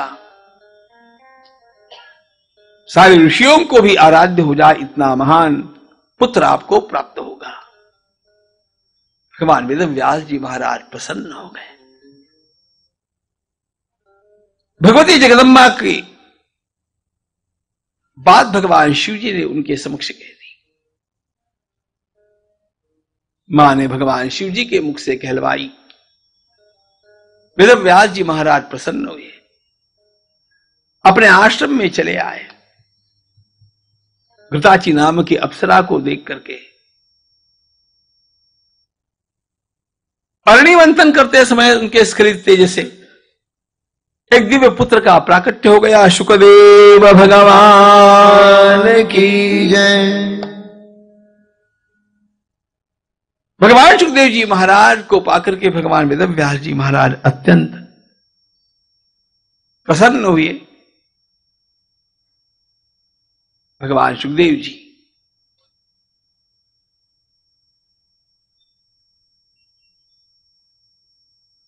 उत्तम ज्ञान की आराधना करते हैं। वे स्वयं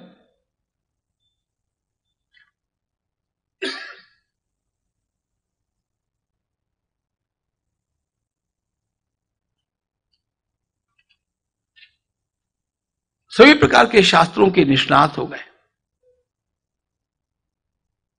यथो दृष्टम शुकी रूपम कृताचा संभवे तदा।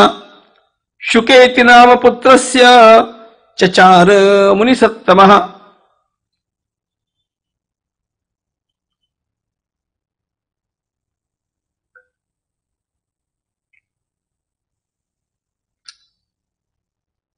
भगवान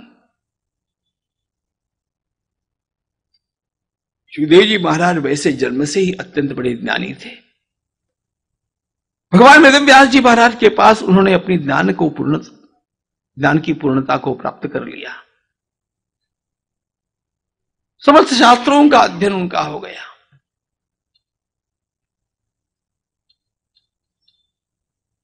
बेटा बहुत अच्छा है। पढ़ लिख करके तैयार भी हो गया तो अपने आप ही माता पिता के मन में विचार क्या आता है? अब एक बढ़िया बहू घर में आनी चाहिए। तो भगवान वेद व्यास जी महाराज ने सुखदेव सुखदेव जी से कहा, जब तुम्हारा विवाह होना चाहिए। भगवान सुखदेव जी महाराज ने कहा, विवाह? पिताजी, ये झंझट करके किसने सुख पाया है?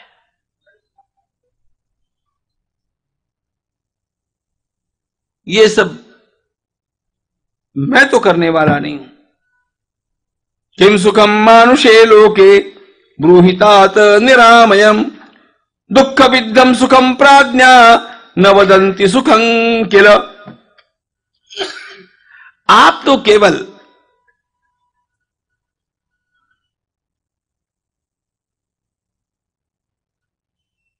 दुख के अभाव को सुख कहते हैं। मुझे तो कोई सुखी मिला नहीं। मैं बृहस्पति महाराज के पास पढ़ने के लिए गया। वो भी इस संसार के जंजाल में फंसे हुए दिखे।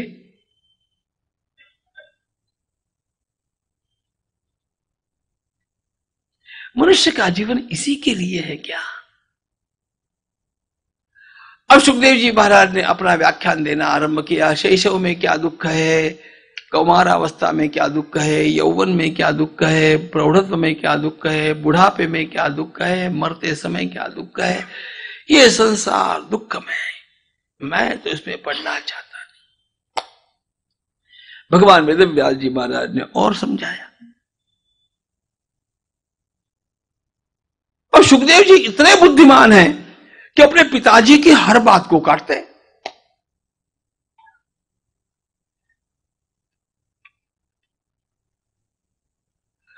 भगवान वेद व्यास जी ने कहा, देखो मैं तुम्हें वो दिव्य ज्ञान सुनाता हूँ, जो साक्षात भगवती ने भगवान नारायण को सुनाया था।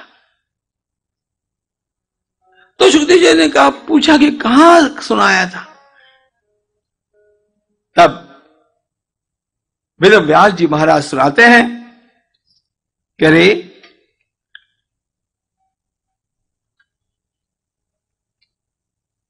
पठपुत्र महाभाग मया भागवतं कृतम। पुराणम ब्रह्म संमितम विस्तार तो बाद में मैंने उसका किया है। लेकिन यह जो ज्ञान मैं तुम्हें सुना रहा हूँ, जिसका नाम देवी के द्वारा दिया गया ज्ञान, देवी के द्वारा साक्षात भगवान विष्णु को दिया हुआ ज्ञान, घटना उस समय की है।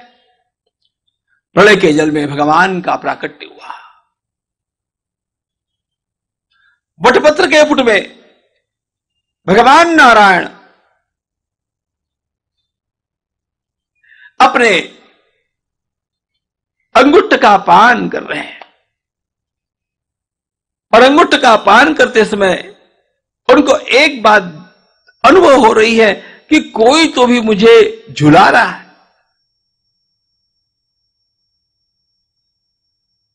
मैं झूल रहा हूँ। अच्छा। कौन झुलाने वाला अथवा झुलाने वाली है, पता नहीं लग रहा है। लेकिन मुझे झूले में झूलते समय जो सुख प्राप्त होता है, उस प्रकार का झूला मुझे अनुभव हो रहा। इतने में मेरे कानों पर कुछ आवाज़ आने लगी। भगवान नारायण के। और वो क्या थी? सर्वम खलविदमेवाहम नान्यदस्ति सनातनम। वटपत्र शयानाय विष्णवे बालरूपिणे सर्वम खलविदमेवाहम नान्यदस्ति सनातनम। सर्वं खल्विदमेवाहम् नान्यदस्ति सनातनम् सर्वं खल्विदमेवाहम् नान्यदस्ति सनातनम् सर्वं खल्विदमेवाहम् नान्यदस्ति सनातन। इतनी ही पंक्ति सुनाई दे रही थी, सर्वो कलविदमेवाहो। नान्यदस्ति सनातनम ये जो कुछ है, सब मेरा ही रूप है। मेरे अलावा अन्य कुछ भी नहीं। ये जो कुछ भी है, केवल मेरा ही रूप है। मेरे अलावा अन्य कुछ भी नहीं। मैं सुन रहा था। अच्छा ये जो सुनाया जा रहा था, वो बड़े लोरी के रूप में सुनाया जा रहा था। गाने का रूप देकर के सुनाया जा रहा था। एक तो मैं पल्ले में मानो झूल रहा हूँ और ये लोरी भी मानो गाई जा रही है। मैं समझ नहीं पा रहा था कि ये लोरी कौन गा रहा है और ये कौन सुना रहा है।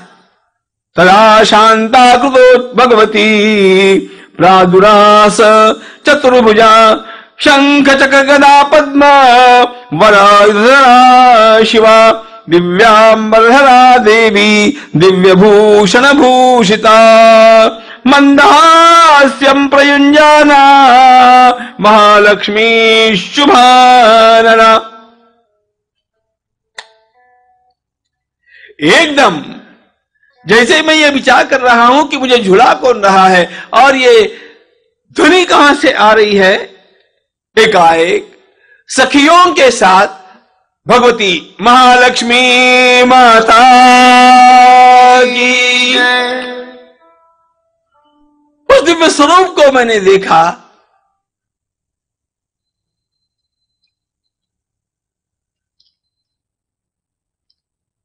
राम सदा संस्थिता दृष्ट्वा हृदय कमले क्षण विस्मित सलिले तस्मिन् निराधाराम मनोहराम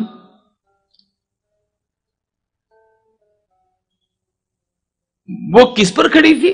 निराधारा। अंतरिक्ष में है।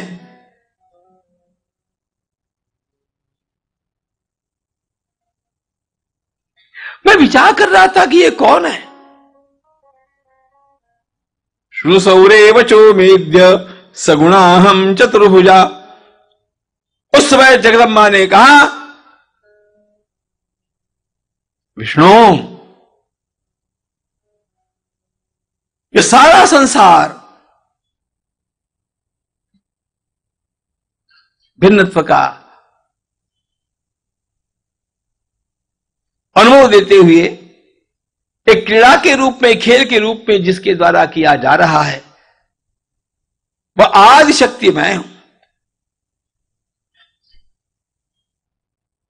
आपको माध्यम बना करके, विश्व का निर्माण, ब्रह्मा जी को माध्यम बना करके विश्व का निर्माण कराती हूँ। आपको माध्यम बना करके उसका पालन कराती। महादेव को माध्यम बना करके उसका संहार कराती। हूँ यह सब कुछ मैं कराती। हूँ अब उस दिव्य शक्ति का सारा दिव्यता से भरा हुआ वर्णन भगवान वेदव्यास जी महाराज ने सुखदेव जी के सामने किया। उसकी प्राप्ति के लिए उपाय क्या है ये बताएँ। और भी ज्ञान की बातें सुनाई।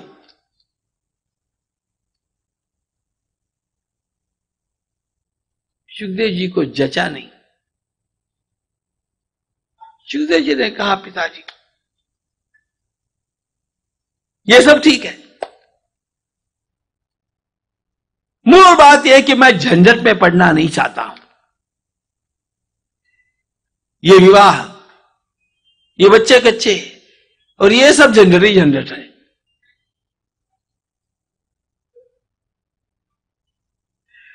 तो भगवान वेद व्यास जी ने कहा, अरे,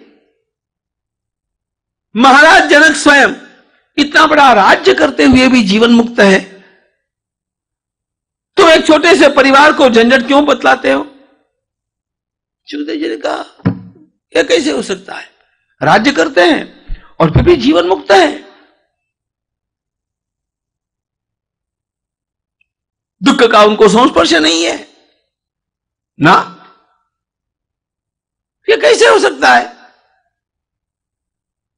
और जिसको राज्य कर रहा है, उसको आदत दे सकना पड़ेगा अच्छा बुरा सोचना पड़ेगा। कोई प्रसन्न होगा, कोई नाराज़ होगा। झंझटों से वो छूट नहीं सकता मुक्त कैसे होगा?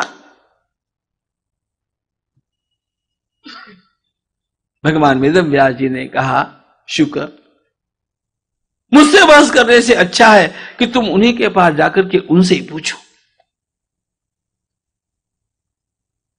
मेरा विश्वास है कि उनके, उनसे ज्ञान प्राप्त करने पर तुम्हारी आशंकाओं का निर्मूलन होगा, तुम्हारा परम कल्याण होगा। ठीक है, वहाँ जाकर के ज्ञान मिलता होगा तो मैं जाऊँगा। वेद व्यास जी ने कहा, भैया, तुम हो योगी। उड़ करके भी जा सकते हो, ऐसे मत जाना। गुरु के पास जाना, विनम्र होकर के जाना, पैदल जाना, जाओ।